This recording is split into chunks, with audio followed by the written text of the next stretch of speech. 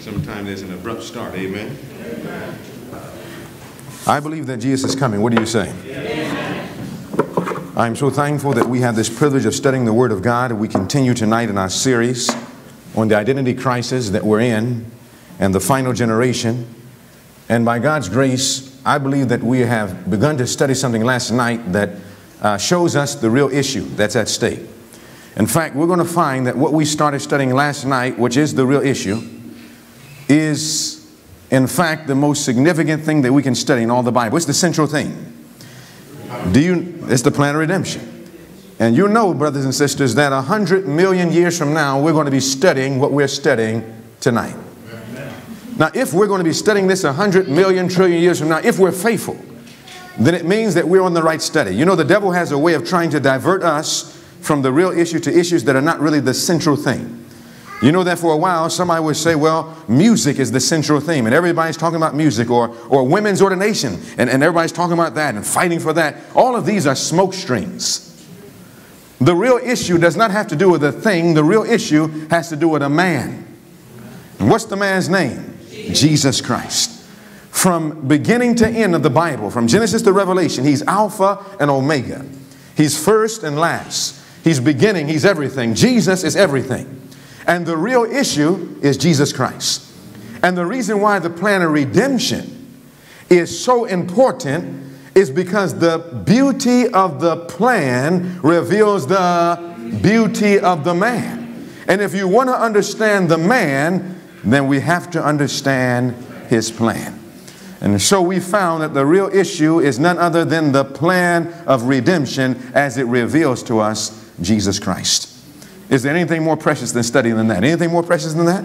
No. That's the greatest thing in all the world. So I'm thankful that we have this privilege to look into this. Would you take your Bibles and turn to the book of Esther, the second chapter, to the book of Esther, chapter 2. And when you get there, if you'll let me know by saying amen. We're going to Esther, the second chapter. Now, brothers and sisters, if we study that plan of redemption, we're going to find that the devil is afraid of something. The devil is afraid of what? He's afraid of something. Do you know that the devil is afraid of these meetings? The devil is more afraid of these meetings than you and I could ever be. You see, the devil understands that something is going to happen in these meetings that is to exalt Jesus. And that exaltation of his message and of the man has the ability to destroy Satan and his kingdom. And the devil is afraid of this. And that's why the devil will do everything in his power to keep you from coming every night. Now, I told you I was going to ask you something, and I'm going to ask it tonight. Was it hard for you to get here tonight? Yes. Yes. Somebody says no, somebody says yes. But I will assure you before the week is over, it will get harder. I promise you. Every night is going to get a little bit harder. Every night. And the reason why is because the devil is afraid of what we're going to learn. His eternal existence is at stake. And so the devil will do everything in his power. In fact, if all he has to do to stop you from coming is to send snow, what will he do? Talk to me. He'll send snow. If the devil can stop you by sending rain, guess what he'll do tonight? He'll send rain. If it's a hurricane, guess what he'll send? A hurricane. It doesn't matter what it is. I remember we were in Africa doing a meeting, and it was uh, uh, uh in the largest uh, center uh, of the, of, the, of the place open pavilion. It was during the dry season. It hadn't rained for years. And I asked the people, I said, Do you have a closed facility? They said, Oh, we don't have to worry about that because it doesn't rain. I said, Please, do you have a closed facility? Have you made preparation? And they said, But you have to understand the, the, the, what the, the, the, the conditions. We started the meeting. We got into the introduction, and guess what begins to come from the sky? Do you know that, that, that, that there were flurries in Africa, snow flurries? The devil will do everything. Someone says, what, what, what could he do? The devil will even give you a job. Someone says, I don't have a job, I'm unemployed. The devil will give you a job this week. And someone says, well, the devil is nice. Well, it depends on why he gave you a job. He'll give you a job this week and then fire you next week. Whatever it takes to keep you from coming. And so, in your mind, what you have to do tonight is make up your mind that I don't care what the devil does. It's not going to stop me from coming to these meetings and coming to Jesus. Amen? Amen. Do you want to make that commitment? Yes or no? Amen. What's more important than getting to know Jesus? What's more important than the preparing for this crisis? You see, the devil is afraid of something. In fact, let me show you what the prophet says concerning this. The devil is afraid of something. Let's see what he's afraid of. In the book, Selected Messages, Book 1, 124, let's read that together. What does it say? It says, Father, please bless these words as we've opened it. In Jesus' name, amen. It says, There is, what's that word? Nothing that Satan. So he's afraid of something. If the devil makes us afraid, I say we should make him afraid. What do you say?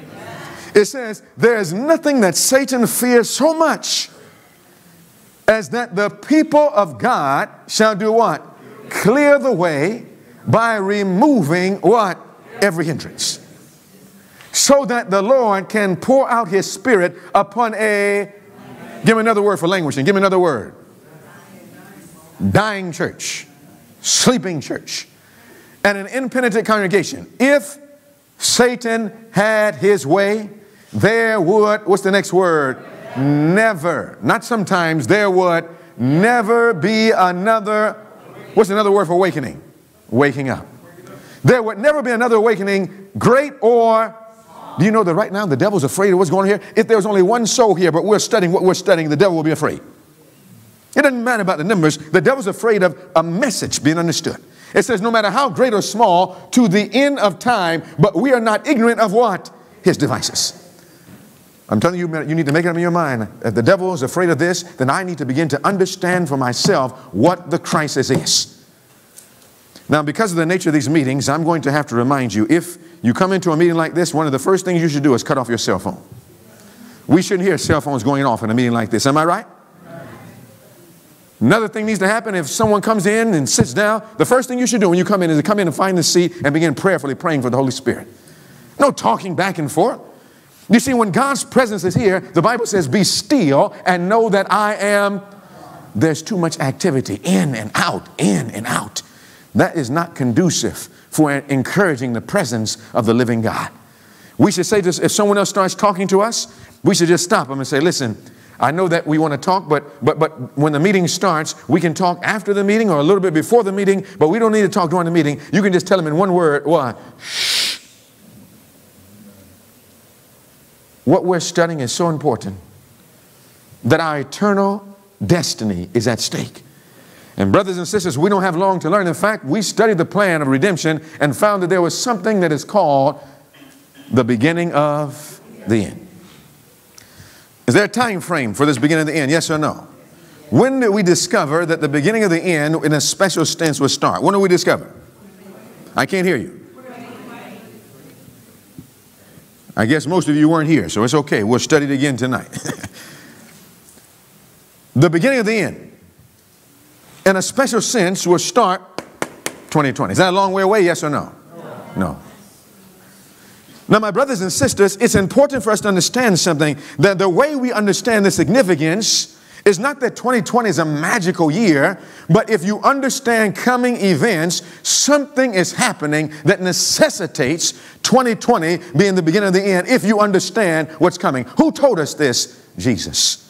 He said, When you see all these things, events come to pass, know. Don't guess, don't ask your neighbor, know. Can we know the time? Yes or no? Now, the reason why we don't know the time is because we haven't allowed Jesus to help us to understand the real issue. But we're studying this week. We found out that this beginning of the year, uh, beginning of the end, is marked and beginning by 2020. Now, inspiration says, let's read this together. We're going to start with this and end with this. Volume 9, page 20. What does it say? It says, Are we to wait until the fulfillment of the prophecies of the. Now, should we wait to the beginning of the end and then tell somebody we got to the beginning of the end? It says, Are we to wait till the prophecy of the end before we say anything concerning them? Of what value will our words be what? Now, can you imagine if a little boy was on a train track and a train's coming and is getting ready to knock the boy down, but it's just a little while before he hits the boy and you see him, but you say nothing. And then all of a sudden, he gets hit. He's gone, he's dead. His mother comes out crying in tears, and then you go over to the mother and say, Mother, I knew the train was coming, but I didn't want to frighten him, so I didn't say anything. Is that love? What should he have done if he loved the boy? He go over and say, boy, get, uh, uh, uh, and the boy, uh, uh, uh. startled. But his life is saved. You know what you would call that? You call that love.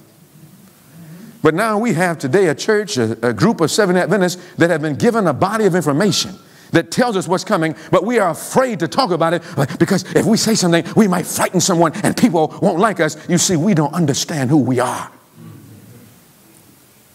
God has given us a distinctive message, a distinctive mission. And my brothers and sisters, this says, Of what value will our words be then if we wait? Shall we wait until God's judgments fall upon the transgressor before we tell him what? How to avoid them? Where is our faith? Where? Not in man. Where is our faith in the Word of God? Must we, what's the next word? See things foretold come to pass before we will believe what He has said? And clear, distinct rays, light has what? Prophecies come to us. Showing us that the great day of the Lord is what? Near. How near? At hand. Where? even at the doors. What does that mean? That this generation shall not pass. We studied this last night. The generation, the, the, the, the, Bible text that talks about the beginning and the end in Matthew 24 tells us this very thing. Why would we wait until the end and then talk about it? Let us what? Read and understand when? Before it is too late. You know when, you know when that time is?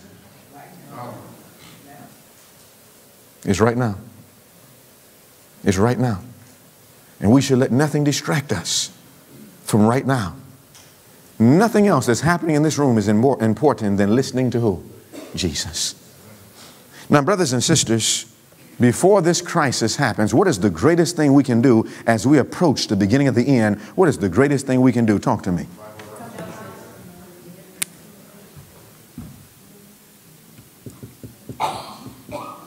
What is it? We must get to know God. We made an acronym. What's the acronym called? Talk to me. C I P. What does C stand for? Close. close. Do you want to be distant from Christ or close to Jesus? What does I stand for? Intimate. intimate. Do you want to be just some casual friend of God or do you want to have an intimacy with Jesus? What does the P stand for? Personal. Do you want to know God as a group or as a church or as a family, or do we need to know Him personally? So then, what does CIP stand for? Close, intimate, and personal relationship with God. This is the condition that we must be in. Now, when God wanted to teach His ancient people how to get to know Jesus as a friend, He said to them, Let them make me a sanctuary that I may dwell among them. And the purpose of that sanctuary was to teach man how God and man can be brought back together, where there can be an atonement and at one meant, where God and man can be brought back together and have a close relationship. You see, sin does not bring us close to Jesus. What does sin do? Talk to me. It separates. Sin is a separator, sin is a divider. So then, sin is an enemy of friendship. So, my brothers and sisters, it was sin that destroyed the relationship between God and man. And the purpose of the sanctuary, the purpose of the plan of redemption, is to restore in man a friendship with Jesus where we love him so much we would rather die than separate. That's close, that's intimate, and that's personal. That's what we need. Now, my brothers and sisters, this idea of 2020, although it's in the Bible, do you know that everything in the Bible is confirmed in history, confirmed in the world events. And we're told that the thinking men of this world, world in education, we're told this. I read it last yesterday. That the thinking men and women of this world, that just before the crisis would recognize that it was about to happen. Did we read that? Do they recognize that a crisis is coming? When do they say the crisis is beginning to develop? The decline and fall of the what? Here's another historian. Domestic and global trends suggest that in what? 2025, just 15 years from now, the American century could all be over except for a little shouting. In other words, he's saying that, see, what I want you to understand when we look at this time frame from 2020 to what? It's not that we're waiting for 2020 or waiting for 2030. Do you know that as we move forward, it can happen anytime? We're showing you that it is about to be end up. This generation cannot pass. Now, my brothers and sisters, we found that this report said 40 years after the initial publication, a study called The Limits to Growth is Looking Depressingly Prescient, commissioned by an international think tank in 1972, a report found that if civilization did what? Continued on its path toward increasing consumption, the global economy would collapse by what year? So the thinking men, these are scientists, you will find in every field of knowledge, and before it's over, perhaps I'll show you. I'll show you, I'm not talking about just the religionists, not just the seven Adventists, not just the Christian. We'll show you that the historian, the anthropologist, the one who deals with economy, the one who deals with the study of population, the one who deals with disease, the one who deals with sickness, the one who deals with every field of knowledge in the world, every one of them tell us that something is developing. Now, my brothers and sisters, all we're doing is showing us that the Bible is confirming or showing us, and history in the world are confirming what the Bible has already taught us. Now, my brothers and sisters, this says,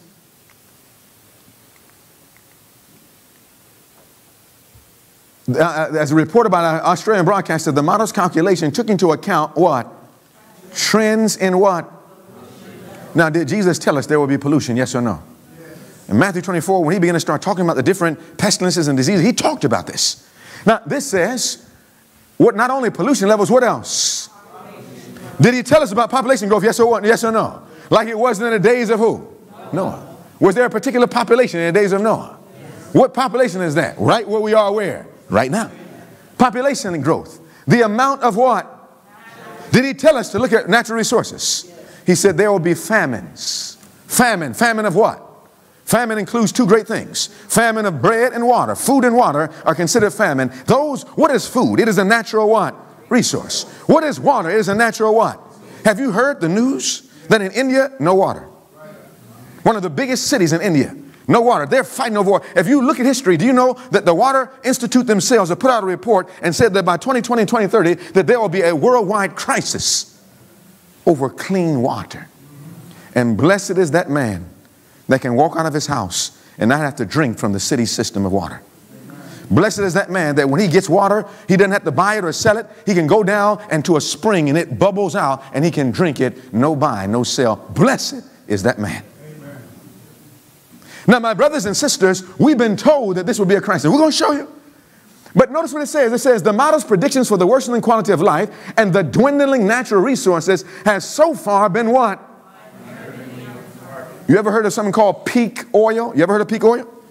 Peak oil is when the amount of producing oil comes to a limit and then it begins to start reducing. Do you know that already the oil for the world has already reached its peak?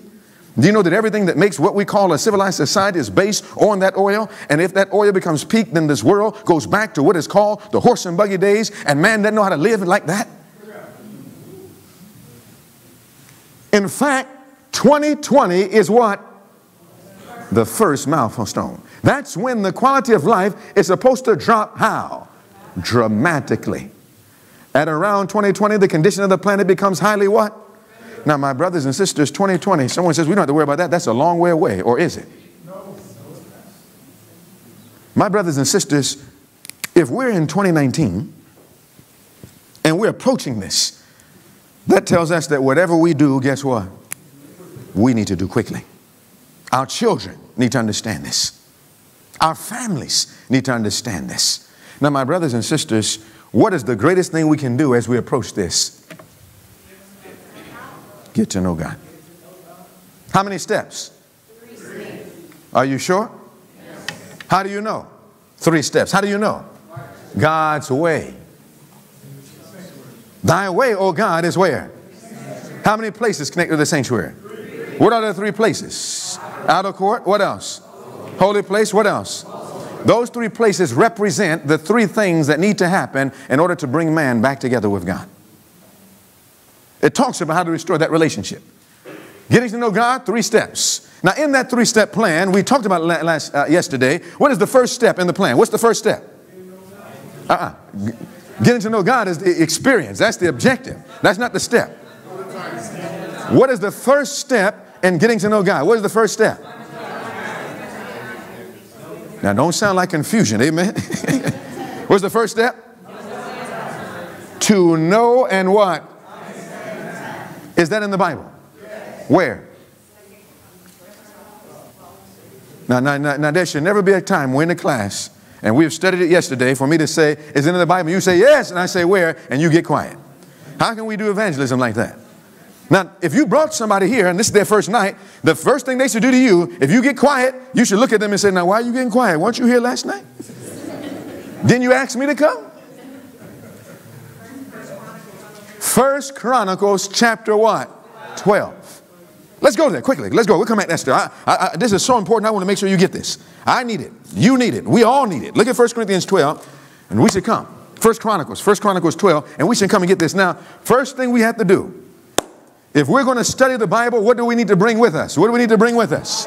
Now, let me see if you have a Bible. Raise up your Bible if you have a Bible. Now, please don't lift up your iPad. That let me know you lost your mind. Praise the Lord. Yes, sister, that's the Bible. that's the Bible. Now she, man, she must have woke up early this morning. That's the Bible, yes. So, my brothers and sisters, we got to get back to Bibles. Put down the electronics. Get back to the Bible. I never forget, I was at a meeting one time, and far away from here, so it, it protects the, day, uh, the guilty. But far away from here, we're doing the meeting and the, uh, we were uh, uh, like a week of prayer just like this. And a man was uh, opening up, and he was, every time he would read, he had one of these electronic Bibles. He'll come up, and he'll start reading the electronic, and he, he'll make it look nice. He'll come. You know, when you have electronic, you almost try to look uh, important. And, I, you know, as the nights went off, I just said, Lord, please do something. Not to the man. I, let the man, praise God for him. But do something to that so called Bible. I praise God. About the third night of the meeting, he stood up and, and the Bible says, and he turned to the Bible. Oh, my Bible went out. I said, Praise God. battery messed up. But praise God, this real Bible, it doesn't need a battery. You don't have to charge it.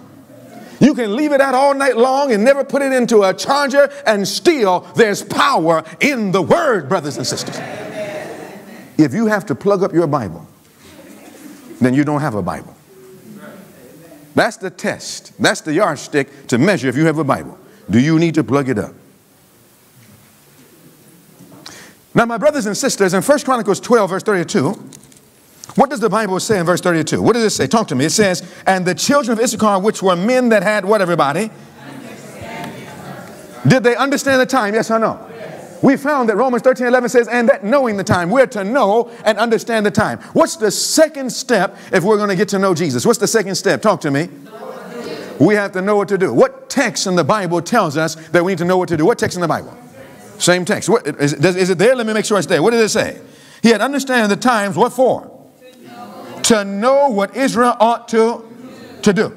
Now, if we know what to do, we can get ready. We can be prepared. In order, to, in order to have a preparedness, we have to know what to do. Now, my brothers and sisters, there is a relationship between knowing the time and knowing what to. To everything, there is a season and a time to every purpose under the heaven.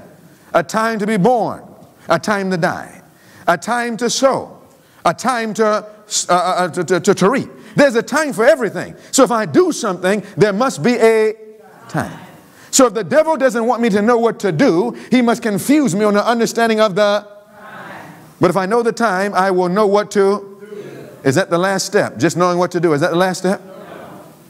What's the third and final step? And there's three stages of getting to know God. What's the third and final step? Talk to me. Now, the third step is to do what he says. Does the Bible say so? Where? Uh, where, where? Where does the Bible say that? John John 15. Let's go there. Let's go there. John 15. We'll come right back to Esther 2. Go to John 15. Go to John 15. Now, if anybody knows how to become the friend of God, I think it's Jesus. What do you say? John 15, we have Jesus talking about friendship, the plan of redemption. That's the burden of this text. John 15 and verse 14. Let's read that together. John 15 and verse 14. Put these two texts together. So important. What does verse 14 say? All together are my friend. Do you want to be God's friend? Yes or no? What does it mean to get ready for the crisis? It means that we have become the friend of God. Now, the Bible says, You are my friends no matter what you do. Is that what it says? Now, that's what many people teach in religions. The Bible says, You are my friend. What's the next word? If. What does if suggest? Condition. Someone says, I thought that God's love was unconditional. It is. Does God love the sinner? Does God love Satan? Yes. In hellfire, will Satan be lost? Yes. In hellfire, will sinners be lost? Yes. Does God still love them? Then why hellfire? Hellfire is an expression of love. And the reason why there's no hellfire now is because we don't understand God's love. But once we understand that hellfire, judgment, is an expression of love, then God will allow hellfire and it will be looked upon not as an act of vengeance or an act of anger. It will be looked upon as an act of love. You know what you do to a dog that you love? And the dog, his limbs are broken, his body is broken. He can't, it's a, it's a struggle for him to exist, but you love that dog. Do you say, I love the dog, so I'm going to let him suffer? Is that what you say? What do you say? You put him to sleep. There's another word you say about that. You put him out of his misery. Do you know that hellfire is doing nothing but putting us out of our misery? It's a love, it's the love of God. Now, my brothers and sisters, if we understand that, then we say God's love is unconditional, but friendship is conditional. The Bible says, how do we know? Who told us this conditional? Jesus. I think he knows. Verse 14 says, You are my friends if, if what, Jesus? If ye, what's the next word? Do. If we do what Jesus says, what will be the end result? You will be my friends. So, my brothers and sisters, that's a three step plan. Become his friends if we do by God's grace what he says. Now, question can we do what he says without Jesus? No. But he told us, if he told us that's enough, can we do it without him? No. no. The Bible says in the same chapter, verse 5, John 15, 5, it says, Without me,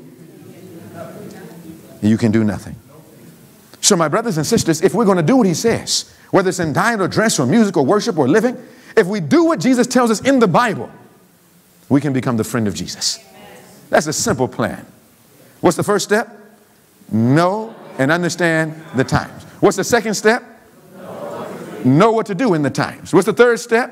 That by God's grace, with Jesus, do it, and we can become God's what? So then, what are we studying in these meetings? how to become the. So if anybody asks you, you say, look, I've been learning about the beginning and the end. I found out how to become God's what? Friend. Do you know that's the, the biggest thing that, that, that there's an opening to evangelism? Somebody come to you at work or, or some other job, it doesn't matter what their religion, it doesn't matter because all of us need to become the friend of God. The Muslim needs to become the friend of God. The Buddhist needs to become the friend of God. The atheist needs to become the friend of God. The Catholic, the Baptist, the Pentecostal, the Seventh day Adventist, everyone needs to become God's what? Friend. That's the message. That's the message.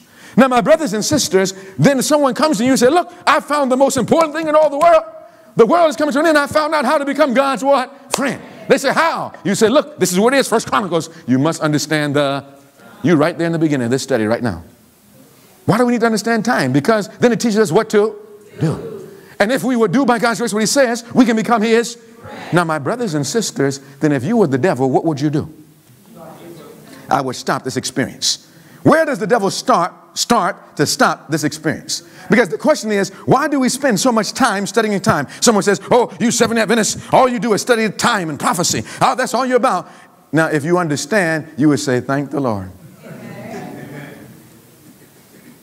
Because if you study the life of Jesus, the very first words that he said when he preached the gospel was, "The time is fulfilled." That's how Jesus taught. This is his message. This is what we must do as seven Adventists to imitate Jesus. Now, my brothers and sisters, when we understand that, then we can see the devil's plan is to stop us from step one to not know and understand the time because if we don't know the time, we can't know what to do. And if we don't do it, we can't become God's what? Friend. So then the devil start, starts by doing that. So the question is, which one of the three things is designed to set friendship in motion? Which one? No, I can't hear you. Doing what? knowing and understanding the time. So you know that we need to spend a great deal of time knowing the time. You remember Esther's day, you're back in Esther 2. In Esther's day, you remember the words of Esther? It says, Who knoweth that you have come to the kingdom for what? Such a time as this. I'm going to tell you something. Who knows but you've come to this meeting, to this week of prayer for such a time as this. Now, question Did Esther prepare her people for a crisis? Yes or no? Did Esther save her people under the hand of God? Yes or no? Did she help more than her people? Yes or no? Do you know that everybody in that Persian kingdom were saved as a result of Esther's work? Not only her own people, but everybody that was under her influence because of her work. And do you know that as Seventh day Adventists, we've been given the same work as Esther, not only to save our own people, Seventh day Adventists, but we have a duty to do something to help our other brothers and sisters in every denomination, every religion, and every nation, kindred, tongue, and people. And as Seventh day Adventists, we're not doing our jobs if we're not helping the world. Now, my brothers and sisters, Esther, in order to get ready for that crisis and prepare her people, there were three things that she had to do. How many things? Three. The first, write it down, please.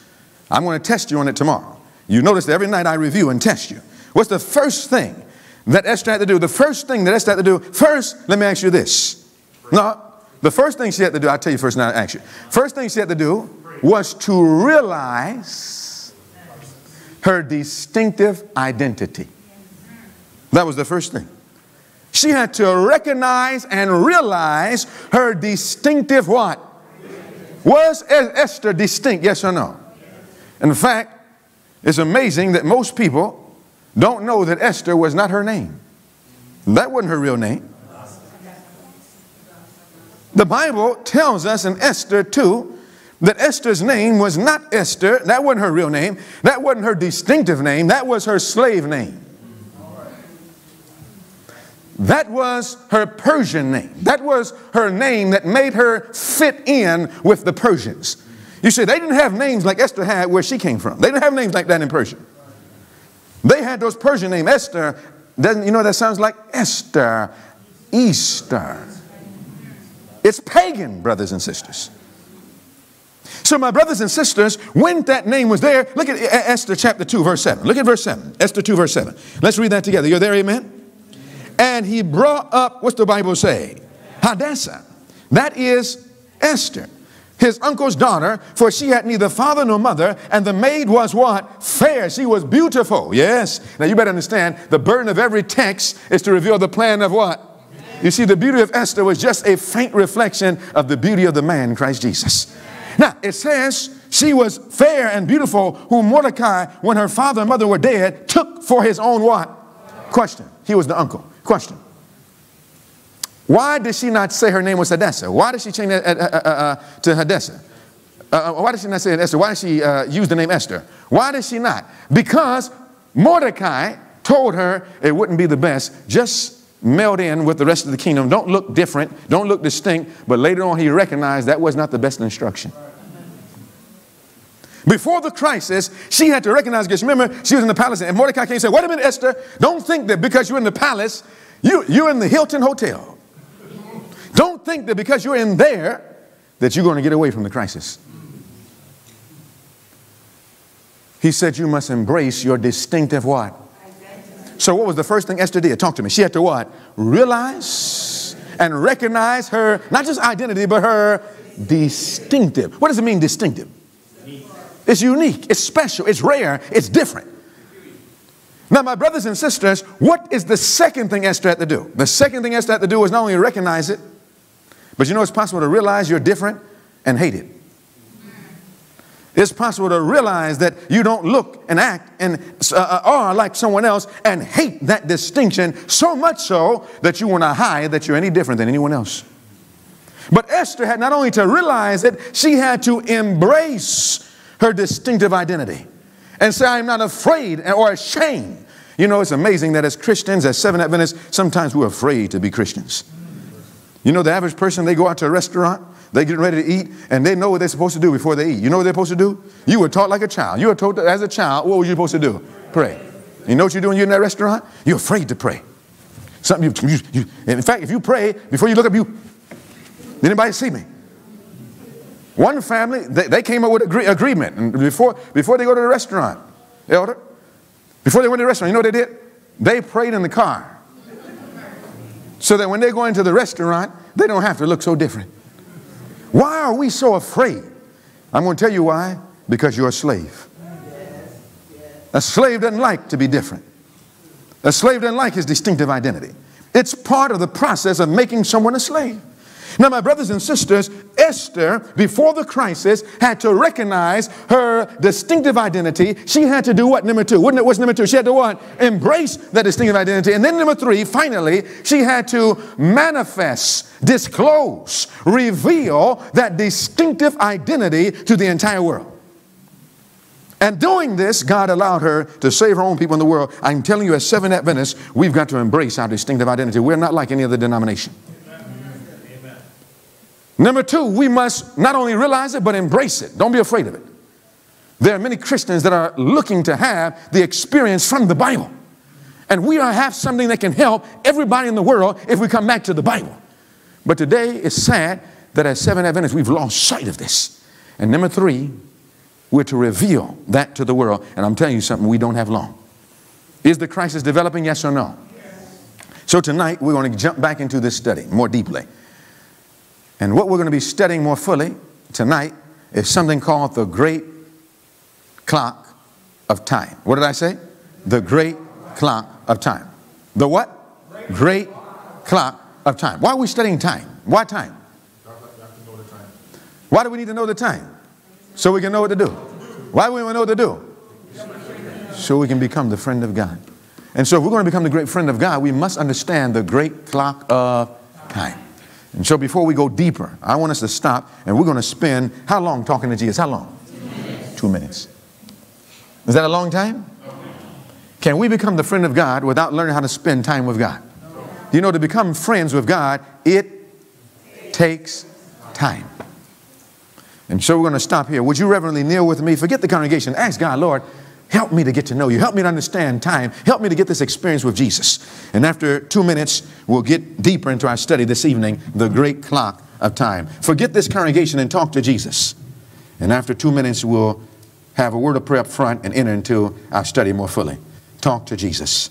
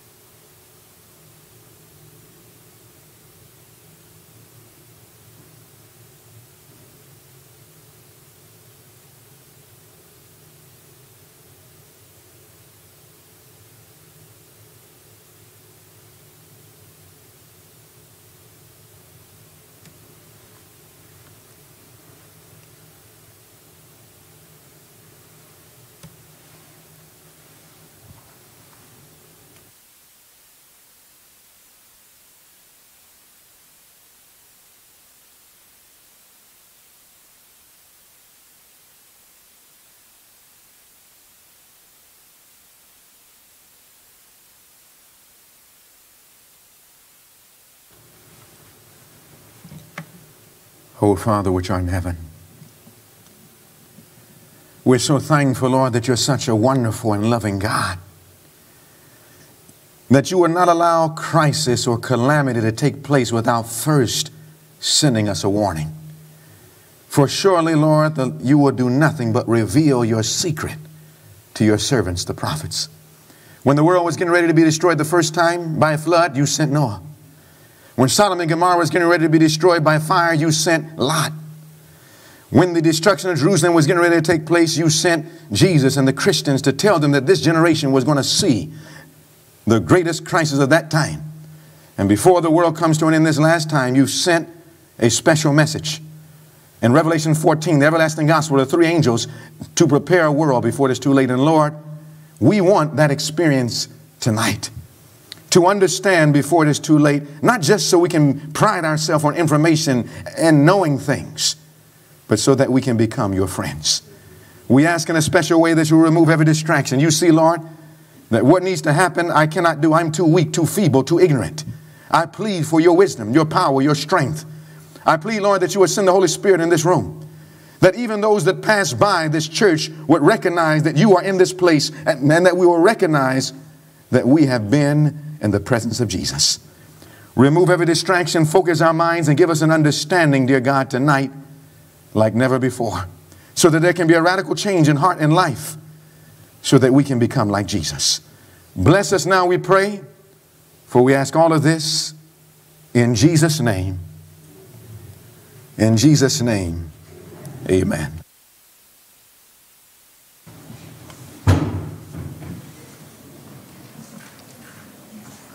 Bible says in Revelation, the last book of the Bible, in Revelation chapter 12, and when you get there, if you'll let me know by saying amen. Revelation chapter 12. Now, it doesn't take a theologian to understand that a crisis is coming. It doesn't take a historian to understand that a crisis is coming. It doesn't take a man who is so intellectual and intelligent to, to understand that a crisis is coming. If a man would just open up his Bible if a man would begin to just study what the Bible says from Genesis to Revelation, he would recognize that we're not living in any ordinary times. We're living tonight in the midst of the most solemn and significant time of all the ages. We're living not at the beginning of time, we're living in the last days of this earth's history. And the Bible says that Satan's attack on this generation is greater than on any other. Why? As we studied last night, we understand this is not the first generation, but this is the what? Final generation. The limit generation. The last generation. Revelation chapter 12. Beginning in verse 12, let's read that together. What does the Bible say? It says, Therefore rejoice, ye heavens, and ye that dwell in them. Woe unto the inhabitants of the earth and of the sea. Why? For the devil is come down unto you, having great wrath, because he knoweth that he hath. Now, notice the last four words. But a what, everybody? A short time. And we've been identifying this short time. The devil knows this time. In fact, brothers and sisters, we found that we're living in a day and hour where the devil is getting us caught up in everything but getting to know Jesus. Do you know right now that Satan has become successful and using every form of mass media to get our attention? He's using the television, he's using internet, he's using the computer, he's using social media, he's using Snapchat and Instagram and Facebook. And I've always said to myself, why does man have three Facebook accounts? He only has one face, but has so many Facebook accounts. It doesn't even make sense.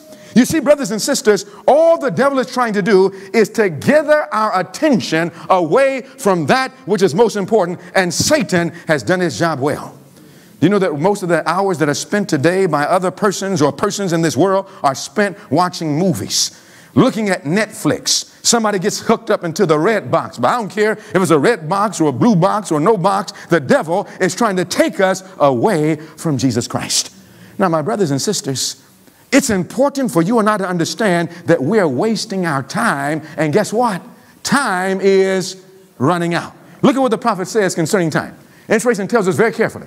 It says here, it says, What shall I say to do what? Arouse the remnant people of God. I was shown that dreadful scenes are where?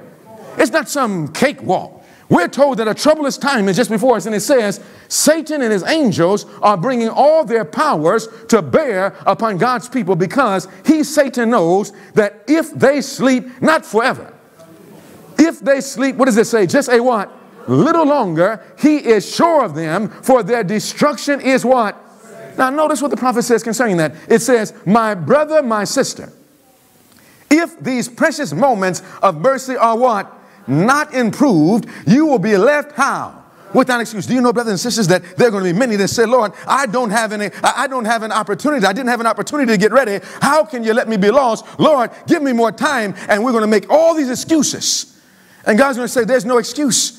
I gave you an opportunity every day to study with me. I gave you a week of prayer calling us back to the attention. But during that week of prayer, you said that you were too busy, that you had to go to work and school and play. Now it's amazing. We have time today for work time for school, time for play, but when it comes to Jesus, we haven't got no time. What's our problem, brothers and sisters? Why can we wake up in the morning, four o'clock in the morning, beat the Atlanta traffic, be at work all day long, another two hours coming back home, and yet Jesus, we can't give him 30 minutes. My brothers and sisters, amazing. We do for man something we won't do for God.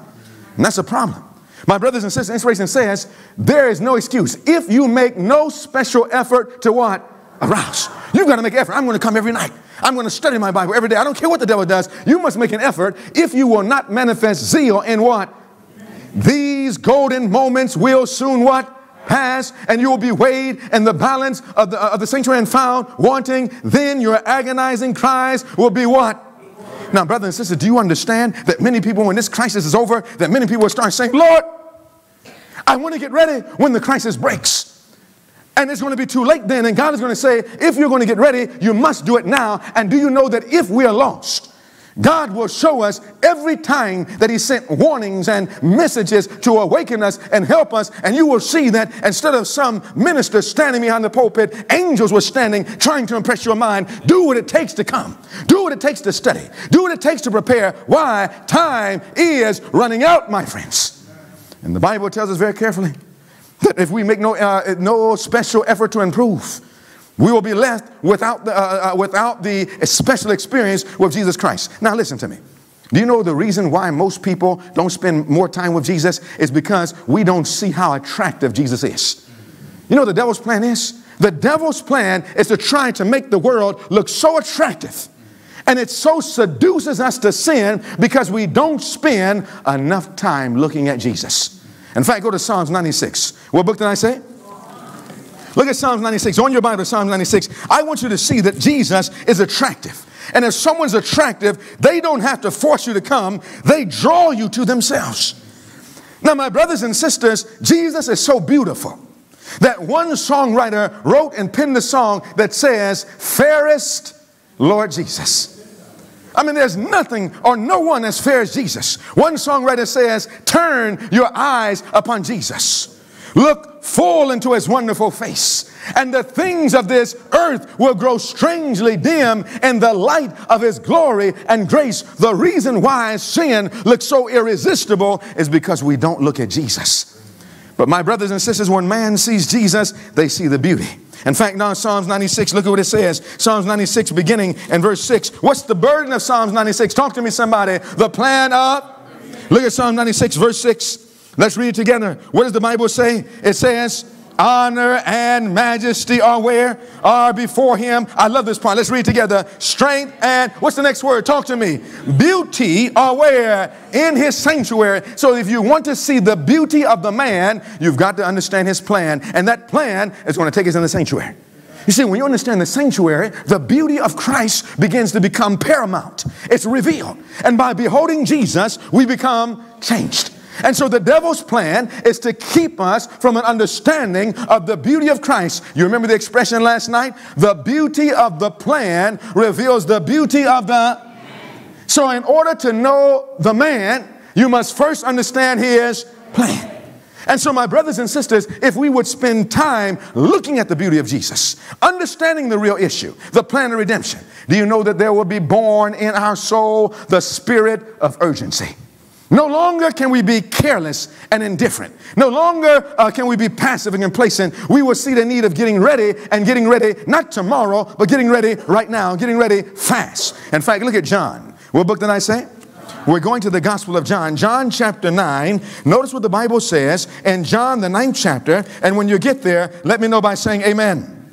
My brother and sister, in John chapter 9, it tells us that of all the Bible, no one was more urgent than Jesus. Was Jesus urgent? Yes or no? Yes. You remember when Jesus came preaching the gospel? He didn't say, listen to the gospel because 100 years from now something's going to take place. He said, listen, the time is fulfilled. The kingdom of heaven is not far away. It is at what? Hand. It's near. It's now. He was urgent. You remember Jesus when he was getting baptized by John? John was getting ready to baptize him. John saw his beauty. And John looked at the beauty of Jesus and got, he got a flabbergasted. Whoa, he said, whoa. All of a sudden, he said, I can't even tie the shoe latchet on your face. He was hypnotized, but a good hypnotist. It was a true trance. It was the beauty of the man, Jesus Christ. And when he saw that beauty, he was almost struck. But remember now, he had to be baptized on time. And Jesus said, Suffer it to be so when? Now. now. Jesus was urgent. Don't you remember Jesus when he was talking to Judas? He said to him, Whatever you do, do what? Quickly. What about Zacchaeus in the tree? He said, Zacchaeus, don't come down slowly. You know what he said? He said, Make what? Haste. My brothers and sisters, Jesus had the spirit of urgency. Does the Bible say so? Yes. Look at John 9. And when you get there, let me know by saying amen. amen. Now, before I read this, some always say, well, why are you pointing this out? Let me tell you why. The reason why I take the time to point this out is because when someone comes preaching like Jesus with the spirit of urgency, when someone comes preaching like you're hearing preach tonight, today, this week, this generation, all that's going to happen this generation, the first thing the devil does, because remember, the devil's tricky. I want to expose his tricks. The devil is tricky. Listen, let me tell you how he tricks us. One thing he does, he will say, first thing he says, when someone comes preaching like this, they're fanatic. You're afraid of fanaticism, so he knows that all you do is call you fanatic, you, you run from it. Another word he likes to call extremists, legalists, time setter. Oh, he loves that one. Time setter, legalist, fanatic, extremist. And when a man hears those words, he gets afraid. And so he begins to run from the spirit of urgency. And instead of getting ready, he begins to get lackadaisical. Oh, well, I don't really have to get ready now. I can wait to change my life. I don't need to make a radical change now. He doesn't understand the significance and the importance of the spirit of urgency. So I want you to know tonight that when you embrace the spirit of urgency, that you're on safe Bible grounds following a man whose name is Jesus. Look at John 9. Beginning in verse 4, let's read that together. What does the Bible say? The Bible says, I must, what's the next word? Work the works of him that sent me. That's an urgent man. I can work it as long as I want because you know I can work it any time in history. Is that what he says? Uh. He says, I must work the works of him that sent me when? While it is what? What does he mean by day? In other words, he's talking about time. He understands the time. He says, I must work the works at a certain time. While it is day, why? A time is coming. Why? The night cometh when what? No man can work. Was Jesus urgent? Yes or no? Yes. He understood that there was a time frame in which he's working on, and Jesus was moving on time. Now, I want to ask you a question. What do we call a time when Jesus can no longer work for our salvation? What do we call that? The close of probation. And so Jesus understood the close of probation for the Jewish nation. And Jesus is saying, I've got to work because there's coming a time when I can no longer work for that nation as a nation. And Jesus was working with all his energy. Now, I want to ask you a question. Is it clear from the Bible that Jesus had a spirit of urgency? Yes or no? No, but my question is not, did he have a spirit of urgency? My question is, why did Jesus have a spirit of urgency? Was it because he was God and he knew everything? Is that why? Why was it? You see, Jesus came like us, God man, but his flesh just like ours. He understood and learned as we can learn. The same way Jesus understood, we can. We're going to find that the same condition, or should I say position, that Jesus was in in his generation, the remnant church, you and I are in in this generation. Same position, same condition. So, my brothers and sisters, my question is why did Jesus have a spirit of urgency? Talk to me, somebody. We're in a class. Talk to me. Talk to me. He understood the time. He understood the time. Jesus, I heard somebody say back there, he knew there was a limit. Is there a limit? Yes or no? Did we prove that from the Bible last night? Now, if you weren't here, you need to get those texts. And the person that you that brought you doesn't have those texts, you need to say to them, shame on you. And then after the meeting, come to me and I give you the text. Amen? Amen. Now, it says he knew there was a limit. Now, my brothers and sisters, just as Jesus knew there was a limit, do you know that God wants us to know our limit? Now, my brothers and sisters, my question now is how did Jesus know there was a limit? Now, follow for a moment. What year did Jesus start his public ministry? Uh-uh. What year did Jesus start public ministry? 27 AD. That was when he was baptized by John, 27 AD. Now, my brothers and sisters, when did Jesus' ministry for the Jewish nation end based on Daniel's prophecy? When did it end? 34 AD. How long is that? 27 to 34 How long is that? Seven years. Now remember, the number seven is very special in the Bible. The entire Bible from Genesis to Revelation is built on the number what? Seven. Genesis starts with the first seven days. You'll see from Genesis to Revelation, the name is seven. How many churches in Revelation? Seven. How many candlesticks in Revelation? Seven. The sanctuary built on the number what? Seven. So the entire Bible built on number seven, special number, and seven always brings us to a limit. And so we find that Jesus knew these seven years was taking us to 34 AD. Now, my question, question, my question is Did Jesus know that his limit was going to be in 34 AD? Yes or no? Was he going to minister to the Jewish nation in the flesh all those seven years? Yes or no? He was going to be cut off where? In the midst, according to Daniel's prophecy. What year was Jesus going to die on the cross? 31 AD. Every Christian should know this. You know a Seventh Adventist should know it. He, he doesn't have a reason to be a Seventh Adventist. He don't know this. You know this is the foundation of becoming a Seventh Adventist and our identity. You can't understand the sanctuary without understanding what Jesus did. Now, my brothers and sisters, you will find out that in 31 AD, Jesus went to the cross. Did he know he was going to the cross? Yes. Did Jesus know the year he was going to go to the cross? Did he know the month he was going to go to the cross? Did he know the day he was going to come to the cross? Did he know the hour he was going to die? How? You will find that Jesus understood that there was such a thing called the great clock of time. The what? Great clock of time. And he knew that everything he did was a part of that clock. Someone says, Are you sure about that? Yes, let me show you from the Bible. Go to John. What book did I say? You're in John 9. Go back a few chapters. John 7. Go to John 7. This is all throughout the Bible. We don't have time tonight to look at all the texts, but we'll look at some of the main ones. John chapter 6, beginning in verse 6. And when you get there, let me know by saying amen. Now, now what is the foundation or the burden of this text? The unfolding of the plan of. This is the key that unlocks every passage. John chapter 7 and verse 6. Notice what the Bible says in verse 6. Are you there? Amen? Let's read verse 6 together. What does the Bible say? All together it says, Then who? Jesus said unto them, My, what's the next word? Time. Did he know about the great clock of time? Yes or no? He said, My time is not yet come, but your what? Time is already come. It's already. He knew his time. He understood the great clock of time. In fact, look at the verse 8. John 7, verse 8. Look at verse 8. It says, Go ye, uh, up unto this feast. I go not up unto this feast. Why not? For my time, my what? My time is not yet full. Did he know his time? Yes or no? Did he understand there's a great clock, great clock of time? Yes. In fact, let's look at another text. Go to John chapter 8. Next chapter. Go to John chapter 8. Now, there are many, many texts. We'll just look at another one for, for sake of understanding. John chapter 8. Notice verse 20. John chapter 8, verse 20. And let's read that together. What does the Bible say in verse 20? It says, These words spake who? Jesus in the treasury as he taught where? In the temple. And no man did what? Now they wanted to kill him, but they didn't. Why not? What does the Bible say? For his what? What does it mean by hour? His what? His time had what? Not yet come. So Jesus' whole life was on a timetable. It was on a time schedule. And Jesus understood it. Someone says, Well, I see he understood his time, but why do you say clock?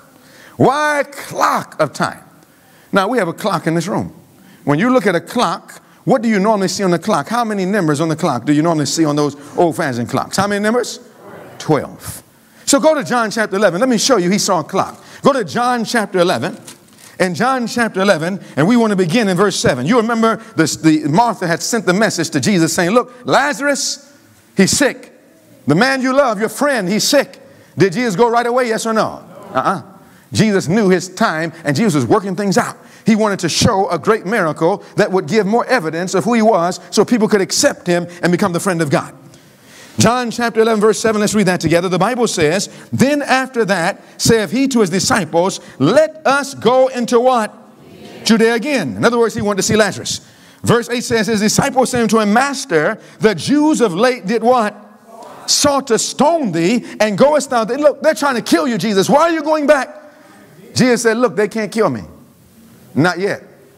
Look what the Bible says in the next verse. Verse 9 says, Jesus answered. Notice the intelligence based on the Bible. Jesus said in verse 9, Are there not, how many hours? Talk to me, somebody. Now, what is he dealing with when he said 12 hours in a day? He's talking about a what? Clock.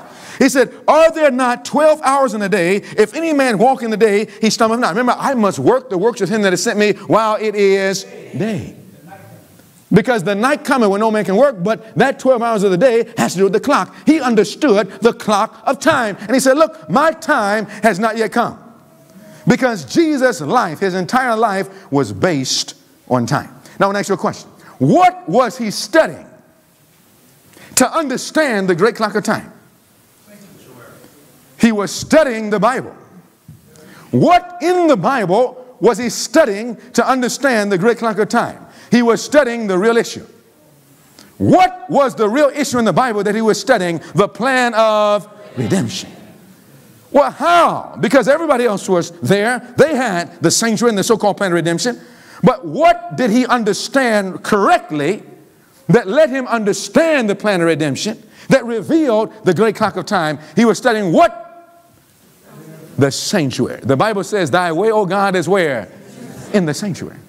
Now, my brothers and sisters, he was studying the sanctuary. How many places? What are the three places? Outer court. What else? Holy place. What else? Did we prove that from the Bible yesterday? Amen. Now, my brothers and sisters, what was he studying in the sanctuary that let him know the great clock of time? No, he wasn't studying Day of Atonement. That wasn't what he was studying. He was studying. Go to Hebrews. What book did I say? Go to Hebrews chapter 8. Let me show you what was studying. Go to Hebrews chapter 8. Hebrews chapter 8, and we'll let the Bible tell you what was studying. Now, I'm going to write something on the board, and I want you to, to tell me. If you know it before I finish it, you can say it out loud. But this is what he was studying. We're going to show you from the Bible.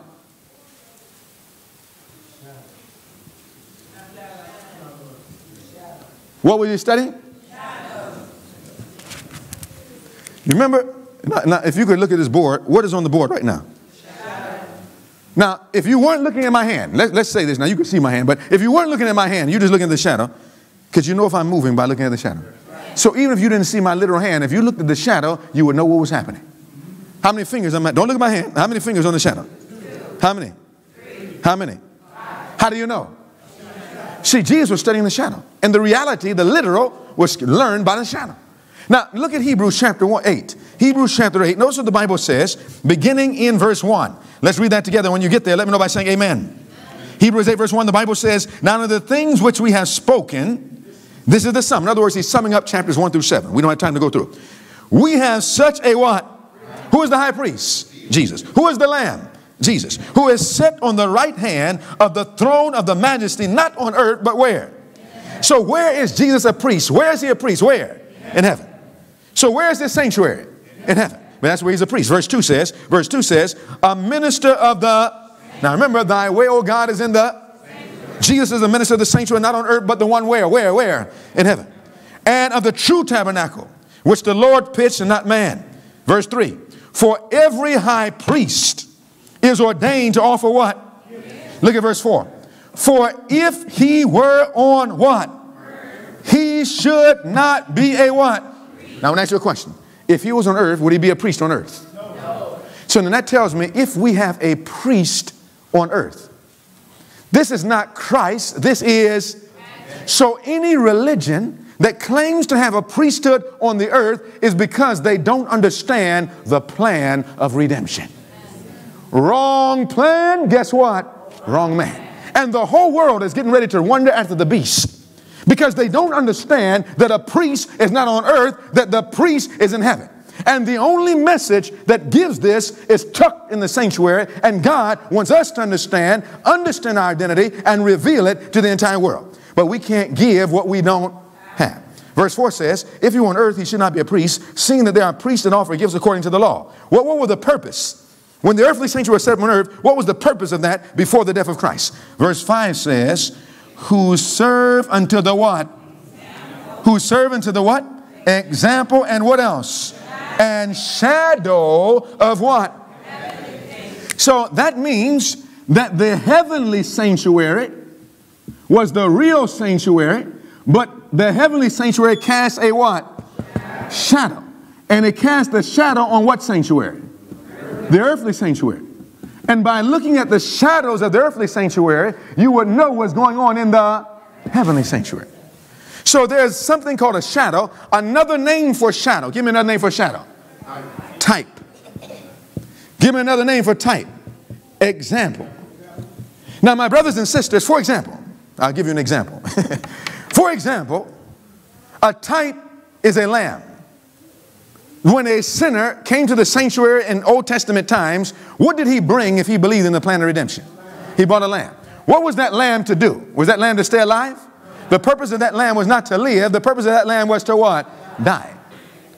Is it because the lamb was really what was supposed to happen? The dying of a lamb? Was that really what was going to save us? Is that what it was?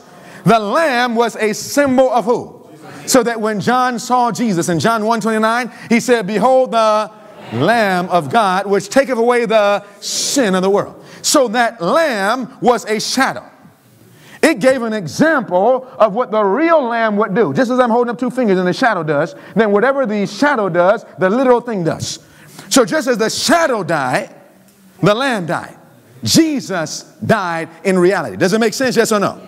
So that's a shadow, that's a type, that is an example, but then the real thing is called not a type, the real thing is called an antitype. An antitype. So Jesus, lamb, type.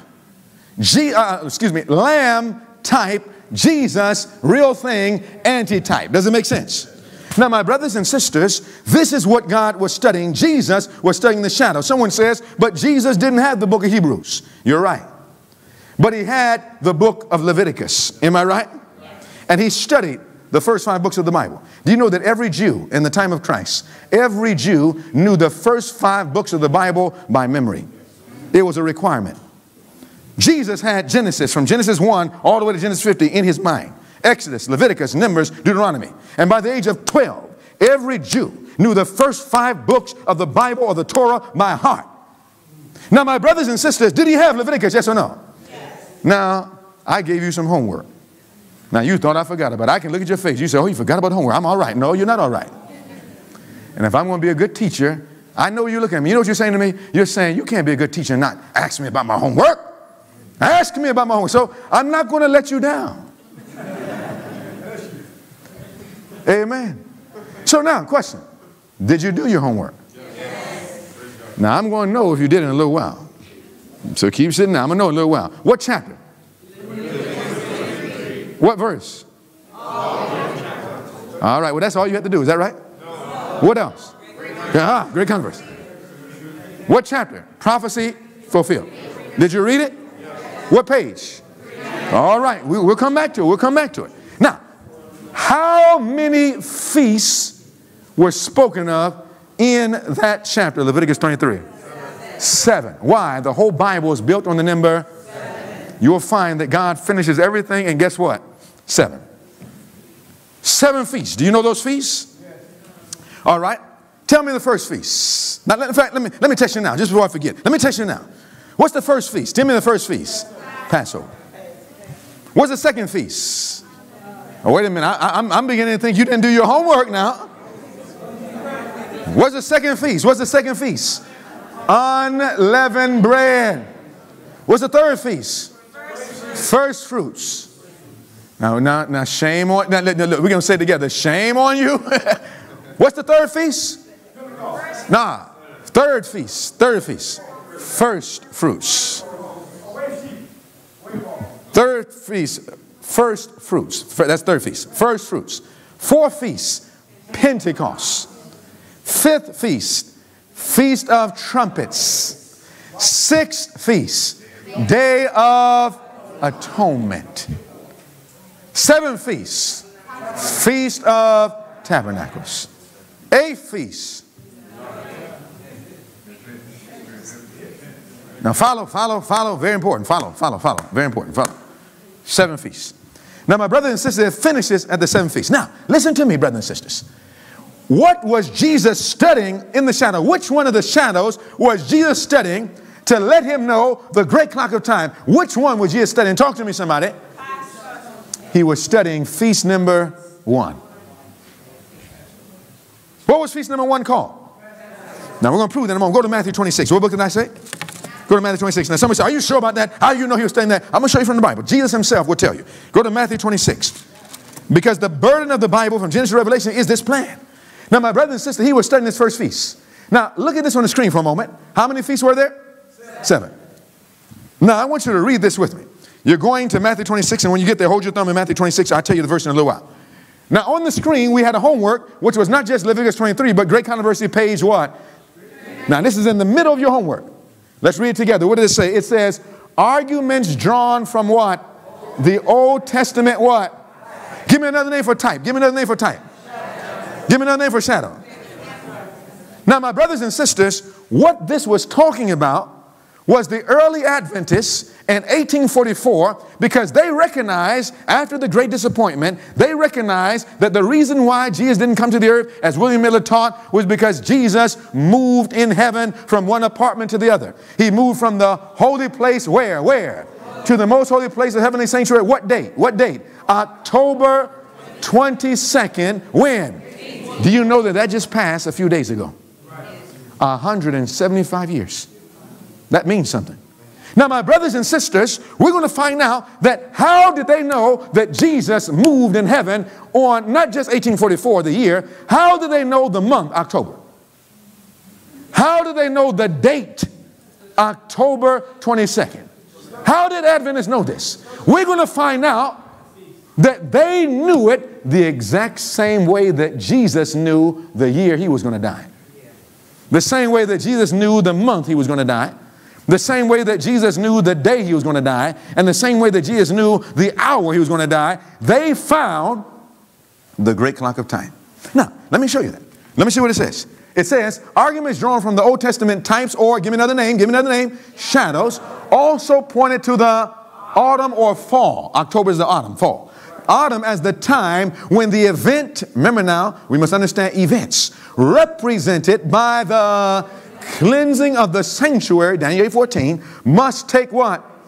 This. Now, how do they understand October 22nd, 1844? It says this was made not clear, but it was made what? Very clear as attention was given to the, what does manner mean? Way.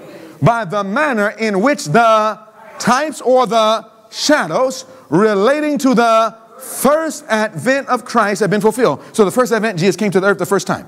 And when they studied the types of the Old Testament, the Levitical types and shadows of the sanctuary, they found that the Lamb and everything he did, it happened in a particular way as it pointed to the first coming of Christ, and they were amazed at something. Watch what they found out about the types. Look at the manner. Watch what it says. Two things they found out.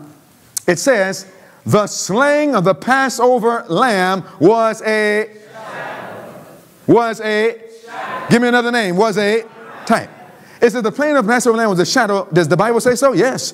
It says Christ our Passover is sacrificed how?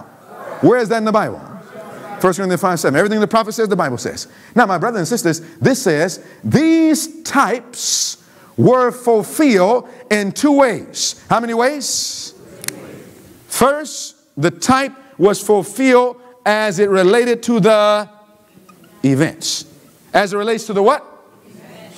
So first, the types were, uh, were fulfilled in the manner that the event took place. Second, it was fulfilled as related to time. What were the two things that the shadows were filled with? It was for the shadows were filled by the event and by the. I'll explain just a moment. Now, it says these types were fulfilled not only as to the event, but as to the the time. Now, in other words, when it says that the shadow was fulfilled by the event, that means that what the shadow did in type, that that event happened. In other words, in the Passover, what happened to the lamb on Passover? What happened to the lamb in the Passover? Did he live? What happened to the Passover? He died. So, what would have to happen in order for type to meet antitype? Then the true lamb, the antitype, who was the antitype? Talk to me. Jesus would have to what? Did that event take place? Yes or no? Is our salvation based on that event? Yes or no? This is the redemption. Now, my brothers and sisters, this tells me that that event, that shadow, happened. Now, but not only did the prophecy fulfill as to the event, it had to happen, guess what? At the time that the shadow said it would take place. Now, I want to ask you a question. Was there a time for the Passover? Yes or no? What was the month of the Passover? first month. What was the name of that month? Abib. What was the day of the Passover? 14th day. Does the Bible say so? Where? Leviticus 23. I gave it to you for homework. Now, my brothers and sisters, it told us not just the day, it told us when in that day the lamb would die. You know what it said? In the evening.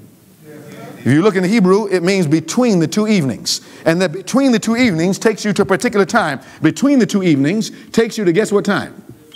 3 p.m.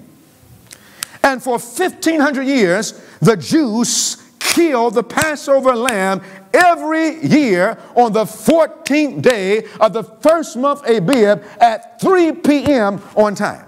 Now, my brothers and sisters, this gets good. Oh, this is good. Man, this is good. Man. Now, even I'm by myself, I'm you, this is good, brothers and sisters. Now, watch this. Watch, watch.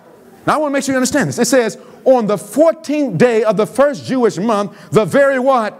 Day and month on which for 15 long centuries the Passover lamb had been slain, Christ, having eaten the Passover with his disciples, instituted the feast, which was to commemorate his own death, and the Lamb of God which take away the sin of the world. That what? Same night he was taken by wicked hands to be what?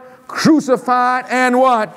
Now, I want to make sure you understand this. You know, if you read Matthew, Mark, Luke, and John, you read the Gospels when it comes to the cross, Gethsemane, you read Desire of Ages, a beautiful pictures in Desire of Ages on the chapter, It is finished.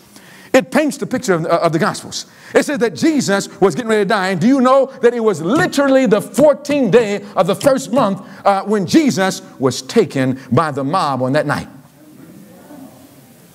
Fifth, 14th day when Jesus was taken and arrayed from place to place. And then guess what?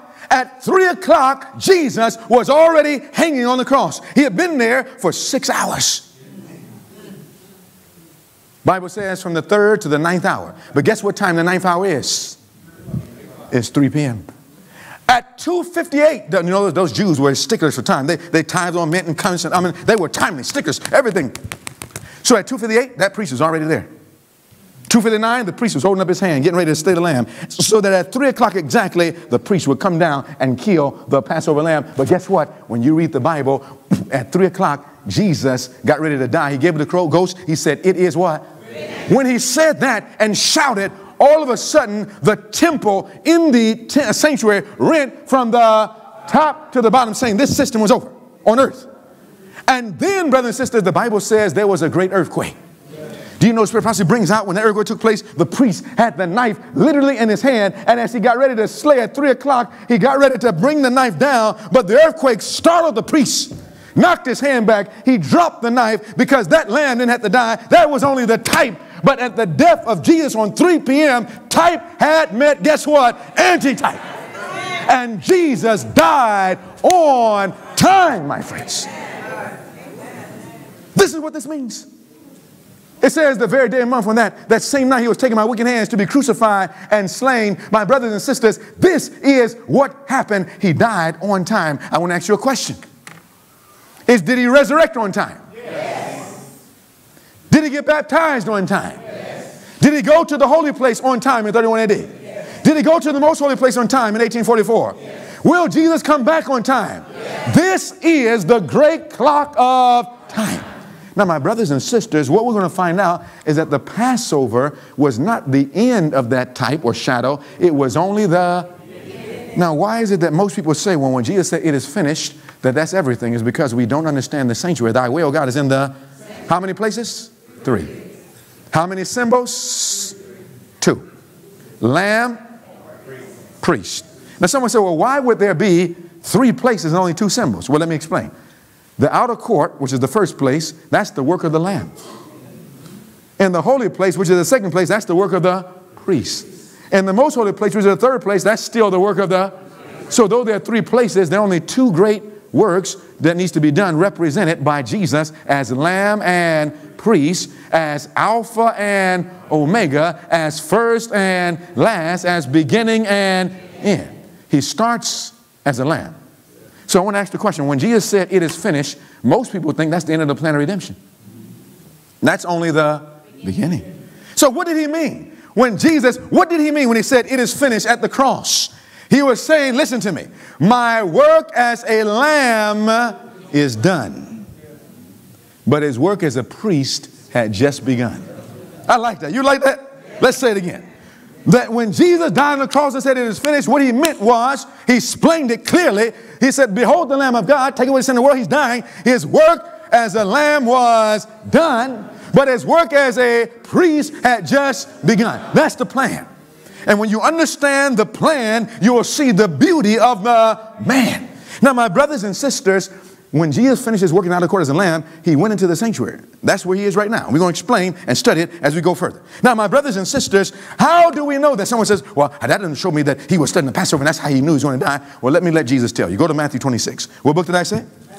Matthew 26. Let the Bible explain itself. Look at Matthew, the 26th chapter. Go to Matthew chapter 26 and notice what the Bible says in Matthew 26. What is the burden of this? The plan of what? Redemption. Now look at Matthew 26 and let's pick up in verse 3.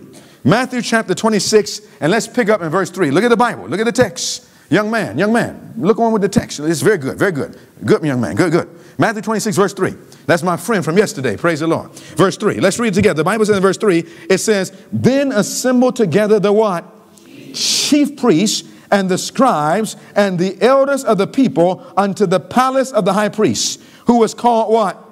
You know what they're getting ready to do? They're getting ready to consult and have a secret meeting of how they can kill Jesus, how they can stop his ministry.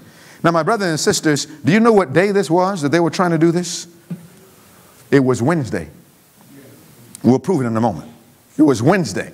Now, what should the priests have been doing on Wednesday when they're planning to kill Jesus? What should they have been doing? They should have been preparing for prayer meeting. Isn't that what they should have been praying for? prayer meeting. But instead of preparing for a prayer meeting, you know what they were doing? They were thinking about how to end the ministry of Christ. It doesn't look like you understand what I'm saying. Uh, let me just use an example. Not that it would ever take place, but let me just give you a parable.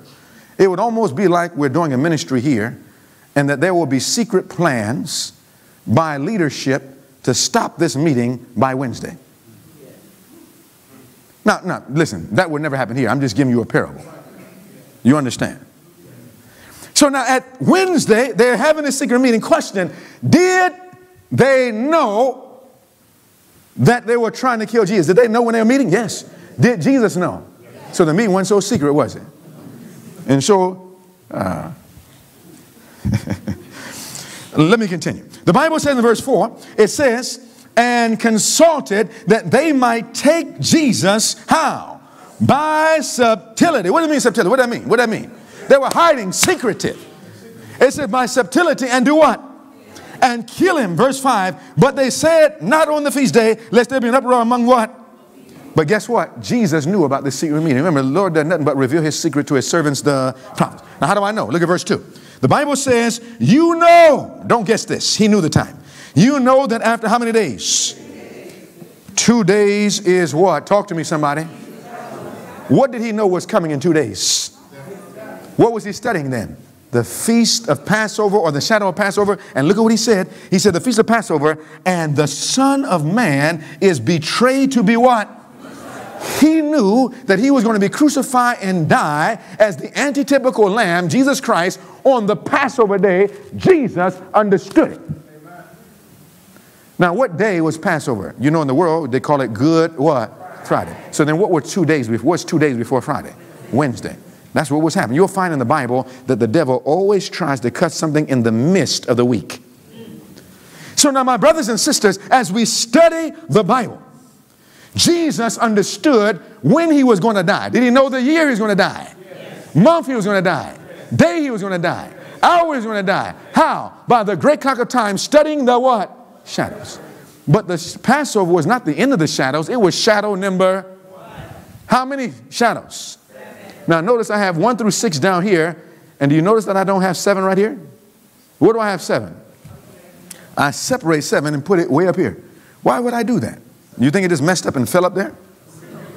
Is there a reason for that? Yes. You know what the reason is? The first six happened down here on earth. The seventh feast didn't happen on earth. The seventh feast happens, guess where? In heaven.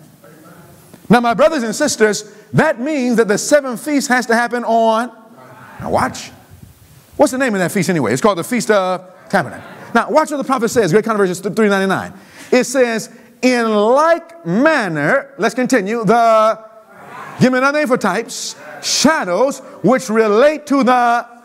So not only the first Advent shadows, but also the second Advent shadows. It says the types which relate to the second Advent not might, but what? Must be fulfilled when? At the time pointed out in the what? Symbolic service. So that the first four feasts had to do with the first advent of Christ, and the last three feasts had to do with the second advent of Christ. Now, I have six feasts. You'll find out that if we're in the final generation, the final generation in the shadow happens between the six feasts and the seven feasts. When does the final generation take place? Between the what? Six feasts and the seven feasts. Guess where we are in 2019? Between the six feasts and the seven feasts. Now we're going to prove this. Now, my brother and sister, what is the sixth feast? Talk to me. What is the sixth feast? The Day of Atonement or the cleansing of the. Now, I want to ask you a question. What is the type of the second coming of Christ in the Day of Atonement? And the Day of Atonement, how does the second coming of Christ, it? How is it, how is it typified? On the Day of Atonement, the priest, he moves from the outer court, he goes into the holy place, he goes where? Into the what? Now, where is this sanctuary, the antitype? Not the, the type, but the antitype. It's, we read Hebrews 8, it's where? Where is it? Where then is the antitypical outer court? Uh, the best way to understand it, if you look at the furniture, it tells you where things happen. Let me give you an example. Let me make it practical. If you know the furniture of a room, you know where the room is. Let me look at your house. If you see a, a toilet, where am I? At least we should be, amen. There'll be a problem if your house, you, you're not in the bathroom, you're in the toilet. But the furniture of the room tells you the room. Bathroom, where am I?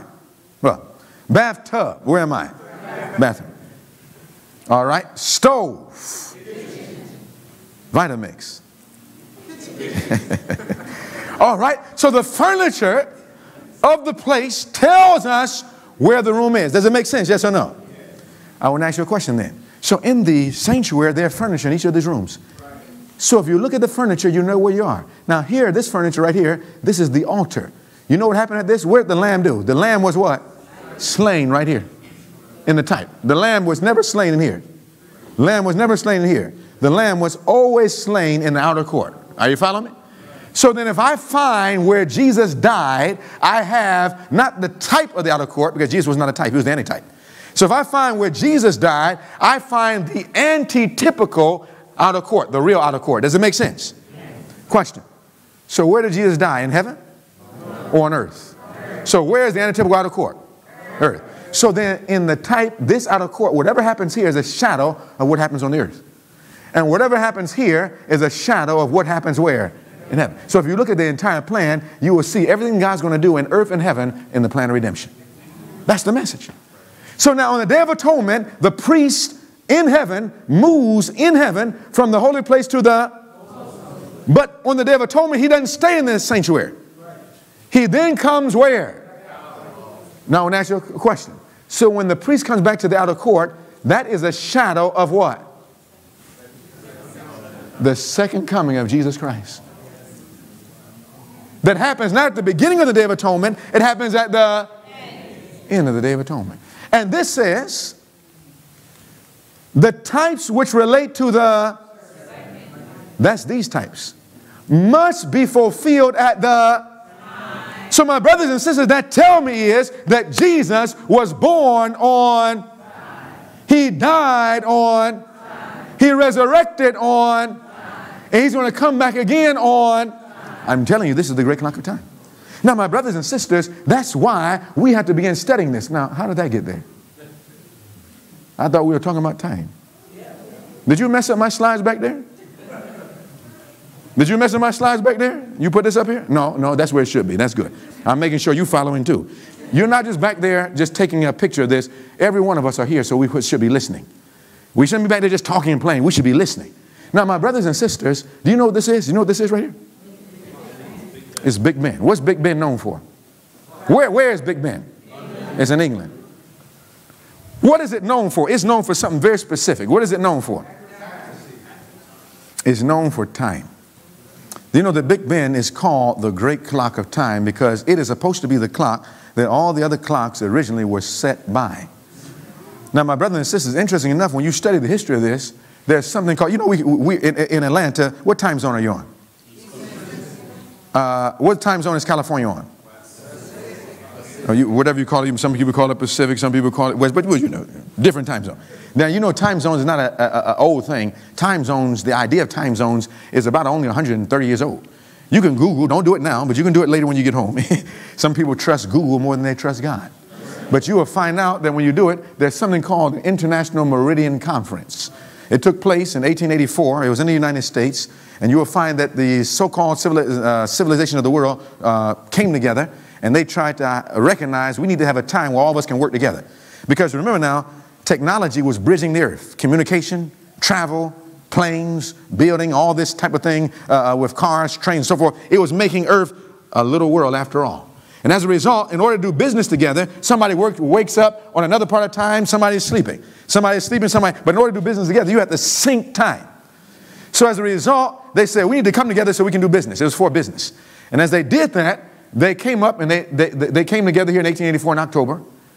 And eventually, 24 of those nations came together and they said, we'll use Greenwich, England as the prime meridian which means basically that's the place that time would start from. That's the zero place. And you will find out where you are hours from Greenwich, England, and it makes that, that become the center of the earth. Now, I won't bore you with the details, but the point is there were two nations that did not accept that, and one of those was France. So if you meet a Frenchman today and you tell him 9 o'clock, he might get there at 9.09 because what they said was they still believe the time zone nine minutes later. So if you are nine minutes later, just recognize he's from France and don't put it on him, all right? All right. So now, my brothers and sisters, but what it did, it became known as the great clock of time. Now, you know that I'm not spending my time telling you about Greenwich, England. You can go to England if you want, or you don't have to go to England. There's another great clock of time I'm interested in. Now, watch. Watch what the prophet says. In the book Desire of Ages 31, let's read that together. It says, The Savior's what? Coming was foretold where? Where? What verse? Genesis. He said, I will come. From the days of Enoch, the promise was repeated through patriarchs and what else? Prophets. Keeping alive the hope of his appearing. And yet, what? He came not. The prophecy of Daniel revealed the time of his advent, but not all rightly interpreted the message. Century after century passed away. The voices of the prophets what? Ceased. The hand of the oppressor was heavy upon Israel. And many were ready to exclaim, the days are prolonged, and how much? They said, Look, it looks like the time is passing. But guess what? But like the stars in their vast circuit of their appointed path, God's purposes, guess what? Knows what? No haste and no delay. It means it always happens on time. It says, through the symbols of the great darkness and smoking furnace, God revealed to Abraham the bondage of Israel where? In Egypt. And he had declared that the time of their sojourning should be how long? Do you know that before Israel ever went into Egypt in the great clock of time, he told them that they would be in, Israel, uh, in Egypt for 400 years, and they came out at the exact same day that God told them they would come out. Why? Because of the great clock of time. It says, against that word, all the power of Pharaoh's proud empire battled where? On the self same day. Same day. That's Exodus 24, 12, 41 appointed in the divine promise, it came to pass that all of the hosts of the Lord went out from the land of what? So the Exodus happened on, but now watch. It says, so in like manner. In heaven's council, the hour for the coming of Christ had what? Been determined. And when, I love this part, when the great clock of time pointed to that hour, Jesus was what? Born where? in Bethlehem. The Bible says in Galatians 4 4, he was born in the fullness of time. Now, that meant that if he was born on time and he was baptized on and he started his public ministry on and he died on and he resurrected on and he went back to heaven in 31 AD on and he moved into the most holy place October 22nd, 1844 on, then Jesus is coming back on. This is the great clock of time. And my question is in 2019, is this the time? Is that a good question? The only way to know, we've got to follow the same what? Because the shadows didn't stop with the Passover. Now, what we have to do, and our time is gone tonight, ooh, so we better be, we bring this, get ready to bring this close. Listen to me. Listen to me. I'm gonna give you some homework. I couldn't let you go without homework. Am I right? I'm gonna give you some homework, but watch now. This is not the real great clock of time. Guess what sets the real great clock of time? The sanctuary. Plan of redemption sets that clock of time. And so, since that's not the clock of time, let me get my friend. My, my friend's with me right now. Now, watch this, my friend. I think you'll like this. Now, watch this now. Since this is not the real great clock of time, let's get rid of that clock. You want to get rid of that clock with me? Let's get rid of it. Boom! That clock is gone. Now let's see it again. Let's bring it back up. Now, let's, let's get rid of that clock. You ready to get rid? Boom! So that clock, that's not the real great clock of time. The real great clock of time is not on earth or in England. It's where? Talk to me. In heaven. And that sanctuary, the plan of redemption, sets the great clock of time. And guess how long it sets it for? 7,000 years. God finishes everything in what? Seven. That great clock of time started ticking not when Adam was born, not when Earth was born. Remember, what set a limit? We studied this yesterday. What's that limit? Sin. So once sin into the world, the clock started ticking. And the only way to find out where we are on the clock, we've got to go through the what? Shadows. Jesus did this to know when he was going to die. He knew his time. And that same clock that showed the time of the death of Jesus is the same clock that's going to show us the final generation. It takes us from the first generation back here down to the final generation over here. And remember, we studied yesterday, this work of redemption cannot go forever. It has a what? We looked at this. We saw that the sanctuary sets this limit. And that one Jewish year represents the whole plan of redemption. And the only way to understand this, we've got to go into that sanctuary and begin to study. Now, my brothers and sisters, we found out that the sanctuary is built on cycles of seven and that the whole system of types, or give me another name, and symbols was a now, remember what I said last night before we close? That if I took 7,000 years and, con- and, and acted it out in one year, what did I just do to that 7,000 years? Would that be compact? Now, we're going to find out that we're going, that's exactly what happened. We're going to find out that in the sanctuary, God took 7,000 years and illustrated it in one year of the Jewish sanctuary that took us from Feast 1 to Feast 7. And God wants us to understand this. Everything is built on cycles of seven. We're going to find this. In fact, this is what the prophet says. Great Controversy 659, 660. It says, For how long? For 6,000 years, Satan's work of rebellion has made the earth to what? Tremble. He have made the world as a and destroyed the cities where? How long does this happen? How long? Now I'm going to tell you something. Now, what this is, this is in the Bible. What, what, what, what the prophet's quoting is in the Bible. It says, for 6,000 years, his prison house has received what?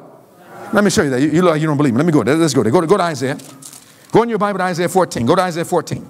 Let's go there quickly. Isaiah 14. Heavenly Father, as we get ready to bring out some final points in these last few minutes, help us to understand the importance of the time in which we're living and the need of running to Jesus before it is too late. Give us your Holy Spirit, we pray. In Jesus' name, amen. Look what the Bible says in Isaiah 14. We want to find the exact words. It says, He made the world as a wilderness, speaking of Satan. Now look at Isaiah 14. Beginning in verse 12, let's in Isaiah 14, verse 12, let's read that together. What does the Bible say in verse 12? What does it say? How art thou fallen from heaven, or what? Who is Lucifer? Who is Lucifer? Satan. Satan. So just before he was Satan, he was Lucifer. Now, going down to verse 17, let's jump down to verse 17. What does it say? That made the world as a what? Is that what it says? It says he made the world as a what? And destroyed the cities thereof. Let's continue. He says, made the world as a witness. What else did he do in verse 17? and destroy the cities. Do you know that every city that has been destroyed today in America have been destroyed by the devil himself, engineered by Satan? It says, and what else did he do after he destroyed the cities? There, thereof, that opened not the house of his what? For how long was people going to the prison house of Satan? What did it say? How long? Question. What is this prison house? Now look at the text. Let me show you that from the Bible. Let's continue. It says in verse 17, open not the house of his prison. And verse 18 says, all the kings of the nations, even all of them lie in glory, everyone where? Everyone where? In his own house. What is the house? Verse 19. But thou art cast out of the. So, what is the, the prison house that Satan is locked up? What is it called? The grave. Let me show you another text. We'll come back here. Go to Job chapter 17. Let me make sure we're right. Go to the book of Job. Because we don't need to make it up. The Bible explains itself. Precept must be upon precept. Line must be upon line. Here a little and there a little. The Bible explains itself. Now notice what the Bible says in Job 17. In Job 17, look what the Bible says. We want to know what the house is that Satan was using to lock up God's people. Look what the Bible says in Job, after Ezra, after Nehemiah, after Esther, you get to the book of what? Job 17. And we want to read verse 13 together. Job 17, verse 13. Are you there? Let me know by saying amen. What does verse 13 say all together? What does the Bible say in verse 13? It says, If I wait, the grave is what? All right, so what is this house? The Bible's talking about it is the what? Grave. So now let's go back here. It says, He made the world as a wilderness, destroyed the cities thereof. He opened not the house of his prisoners. What is it talking about? He opened not the grave. It says, For 6,000 years, his prison house or the grave has received God's people, and he would have held them captive forever. But what? Christ, has broken his bond and set the. So at the end of 6,000 years, God is going to open the grave. Is that what that's telling me? Yes or no? At the end of 6,000 years, God is going to open the grave. Now, question How does God open the grave? Where is that in the Bible? Go to 1 Thessalonians. Let's go there. Go to 1 Thessalonians chapter 4. 1 Thessalonians chapter 4. The Bible is unfolding the plan of redemption from Genesis to Revelation. It's the same plan. Look at 1 Thessalonians 4, because at the end of 6,000 years, God is going to open up the grave.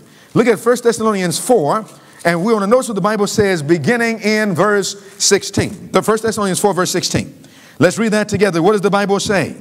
For the Lord himself shall descend where? That's at the end of the Day of Atonement. He's coming out of the sanctuary in heaven. From heaven with a shout, with the voice of the archangel, and with the trump of Christ, and the dead in Christ shall do what? Then we which are alive and remain are caught up together with them in the clouds to meet the Lord in the air, and so shall we ever be with the Lord. We're never going to be separated from him at that time. So, my brothers and sisters, what event opens up the grave? What event? So that means that the second coming of Christ must happen at the end of 6,000 years. Now, my brothers and sisters, does the Bible speak of this? Go to Revelation. What book of the Bible? Go to Revelation chapter 20. Revelation 20. Now, watch now. At the end of this 6,000 years, it says that God is going to open, set the prisoners free.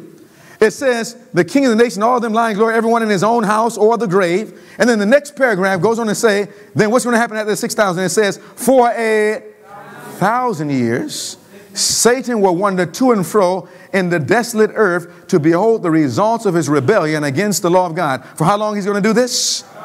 Does the Bible speak of this thousand year period? Where? Revelation chapter 20. Look at Revelation 20. You see, do you believe that the prophet is right? Yes or no? Everything that prophet says, guess what? The Bible says. And everything the Bible says, the. Now, if you believe that, you're almost a seven day Adventist. Now watch. Revelation 20. Look what it says in verse 2. Revelation 20, verse 2. What does the Bible say?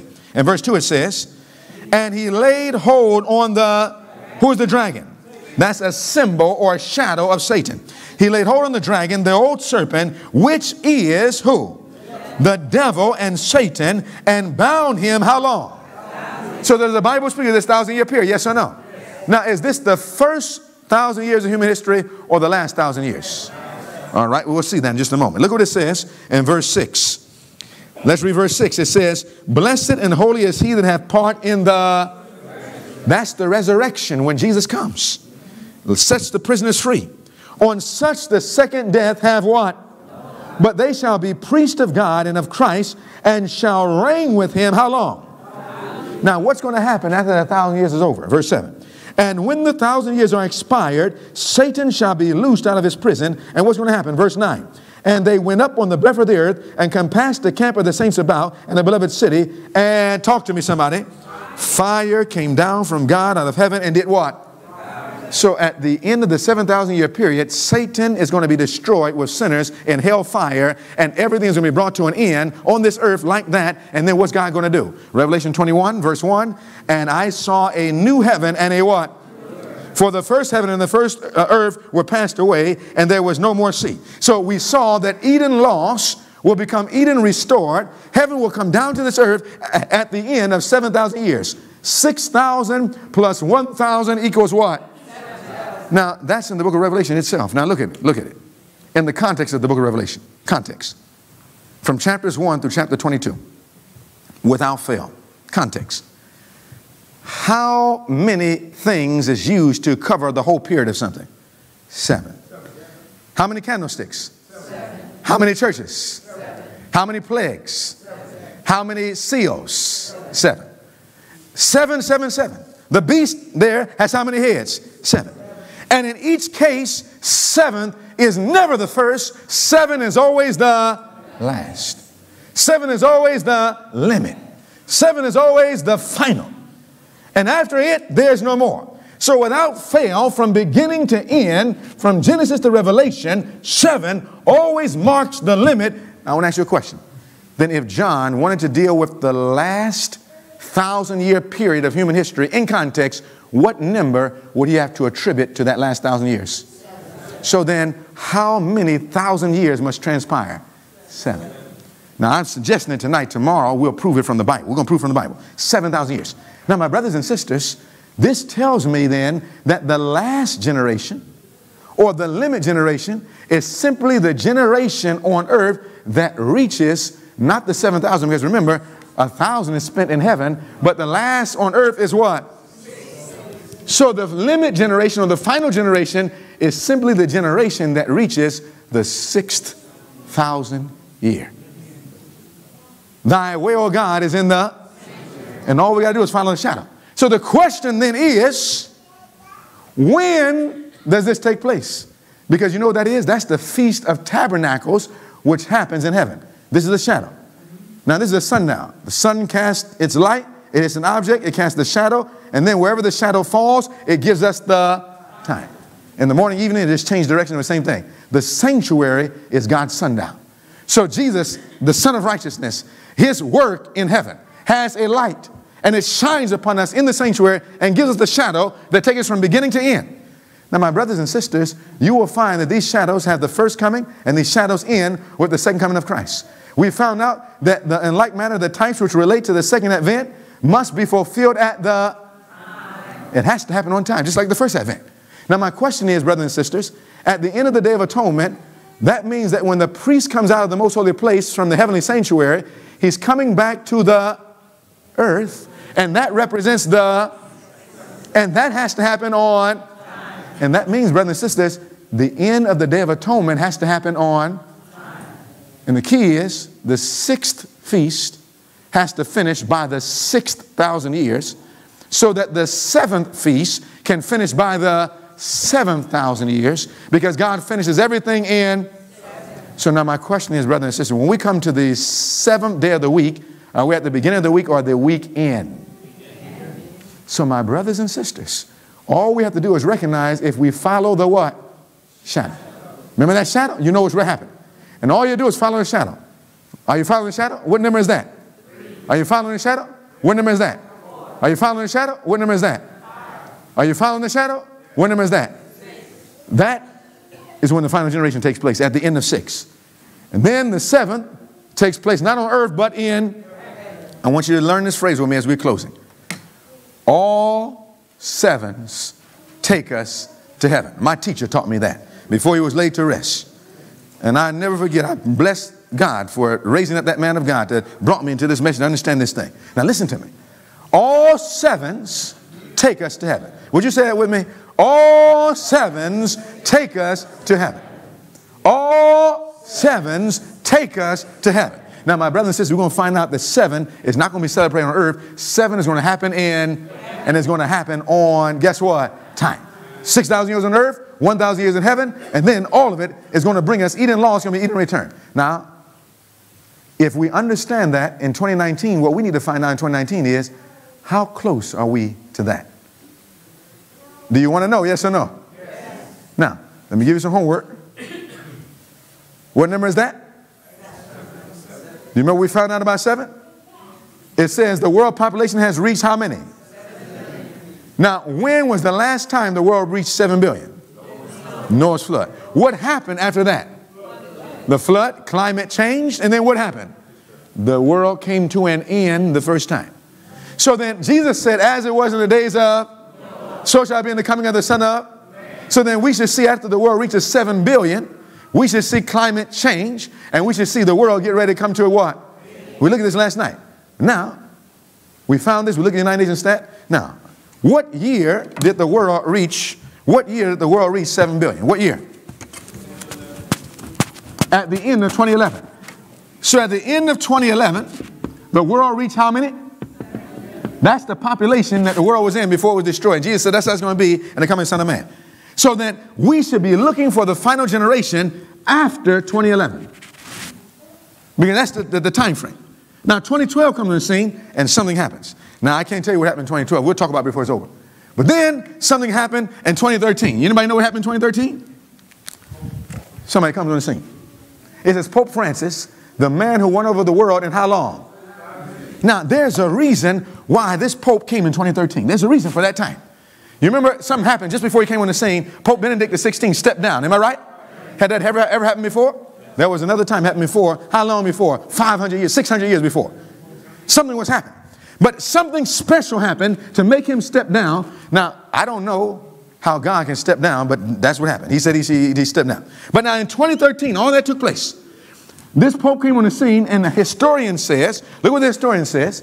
The historian says this pope is different. It says, We have never seen what? A pope becomes so popular in just a couple of what? That's a French historian, expert on religion. But we're going to find out the Bible says that the pope is going to have to get the attention of the world just prior to the 6,000 years. We're going to show you that from the text. And then what's going to happen, brothers and sisters? Because it's not just the pope. This is happening now because of the great clock of all of the world is going to run into this. Then it says planet has only until what? To stem catastrophic what? Why? Something is happening to this earth and it has to do with what's going on in the sanctuary. My brothers and sisters, it's showing us somewhere it says here, it says, if we do not change course by what year?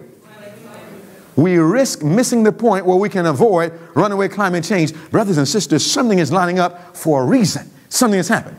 We found out that this says why the fall of the American empire will come by what?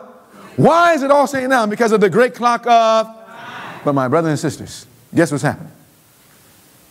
2020 is no what?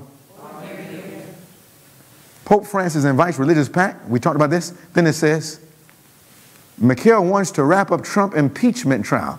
What is taking over the news right now? What's taking over the news all over the world? What's getting what's all in the news? What's all in the news? Talk to me. We need to understand why. My brothers and sisters, no, not a smoke screen. No, no, definitely not a smoke screen. It's real. This, this, this is real. It's prophecy. It's, it's part of the real issue. And the reason why we don't understand it, though, is because we don't understand the sanctuary. We need to find out that what's happening with this impeachment is doing something to bring the Day of Atonement to an end. And the only way we can understand this is we got to go back to the sanctuary. And this shows us, without a shadow of a doubt, that 2019 is giving way to something prophetically because we're looking at the time of the beginning of the. Now, the only way to understand this, we've got to understand between the sixth feast and seventh feast. Seventh feast starts when Jesus comes the second time. We're going to prove that. So, what do we need at the study in the shadows? What shadows we need to understand is the shadows of the sixth feast and the seventh feast. That's where we are in, in the final generation. The sixth feast and the what? What's the sixth feast called? Day of Atonement, cleansing the sanctuary. What's the seventh feast called? The Feast of? Now, your homework. Now, I know you're looking sad. Please don't let me go without homework. So I'm not going to let you go without homework. I want you to go back to Leviticus 23. But this time, I want you to focus on the Feast of Tabernacles. The what? Because remember, the shadow has to be fulfilled in two ways based on the event, and then it has to happen on I want you to study the Feast of Tabernacles, the shadow. if you study the Feast of Tabernacles, the shadow, in Leviticus 23, about 33, and to the end of the chapter, 33, about 10 verses, just short verses, 10 verses, and try to look for the shadow. And then reread Great Controversy 398. Go back through it, refresh your mind about it, and then we'll come back. And if you do that, you'll be ahead of the game. We're trying to understand the Feast of and the Day of Atonement. Because if we can understand when the Day of Atonement ends and the Feast of Tabernacle begins, we can understand the final generation, and this will begin to start making sense. Now, why is that so? Because these feasts are like holidays. They're like what? Do you know that if you didn't even know the dates, you can know where you were in the year just by holidays? If you know the date. For example, tell me some holidays that exist in, in, in America that's celebrated every year. Thanksgiving, that's coming up. I knew you were thinking about Thanksgiving, your stomach. what else? Christmas, New Year. All right. Now, at the beginning of the year, give me, give me some of the beginning of the year. New Year's Day. Give me another feast. Valentine's Day, that's February.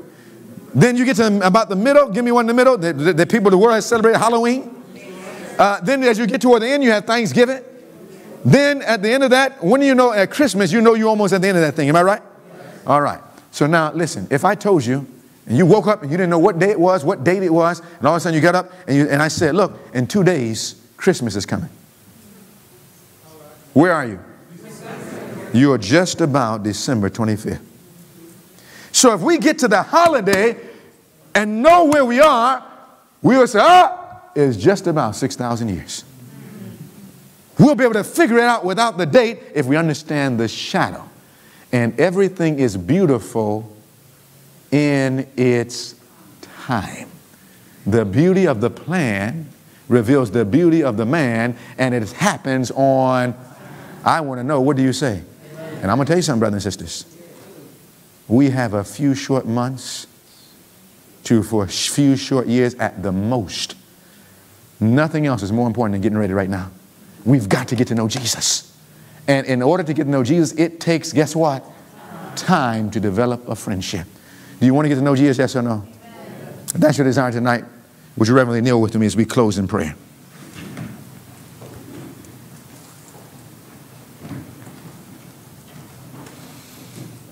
Heavenly Father, the handwriting is on the wall. The world cannot continue much longer. And the same great clock of time that shows you your time, your death, your resurrection, your limit, is the same clock that shows us our time, our limit, our final generation. And so if we refuse this clock, we have to refuse your clock. And if we accept your clock, then we must accept this clock and know that this generation shall not pass until all these things be fulfilled. And Lord, what should it profit a man? To have a job, to be faithful to that job, to be faithful to that education, to be faithful to the world, and then lose our souls. Help us to see, Lord, that the greatest thing we can do now is to get to know you for ourselves. And this takes time. In fact, I pause the prayer. Someone just raise your hand and say, Lord, I need help. I need Jesus. I want my family to get ready. I want to put down everything in this world and accept Jesus. And whatever that means, I want to embrace him so that I may become his friend. Just raise your hand wherever you are. Heavenly Father, you see the lifted hands. Whoever is watching on the internet, please, Lord, help them to lift their hand and not just listen as entertainment, but to make a decision that there's got to be a difference. There's got to be a change. We cannot continue to bury, bury our heads in the world and in television. We've got to study our Bibles and pray and get to know you for ourselves and then help somebody else. Bless every lifted hand. We know the devil will do everything he can to keep us from coming back tomorrow. But Lord, you will bring us, you will keep us, and you will save us. We thank you, for we ask all of this in Jesus' name. Amen. You may be seated for a silent moment of meditation.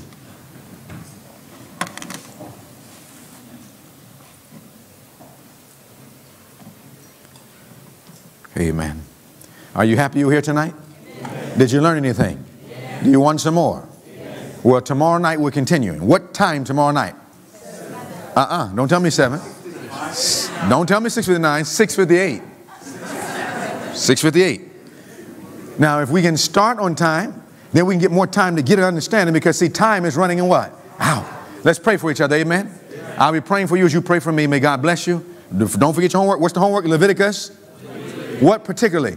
Feast of and the Day of Atonement, and then Great Controversy, reviewing 398, so you can understand this, and we'll get back together. Let's get to know Jesus. What do you say? May God bless you. You may consider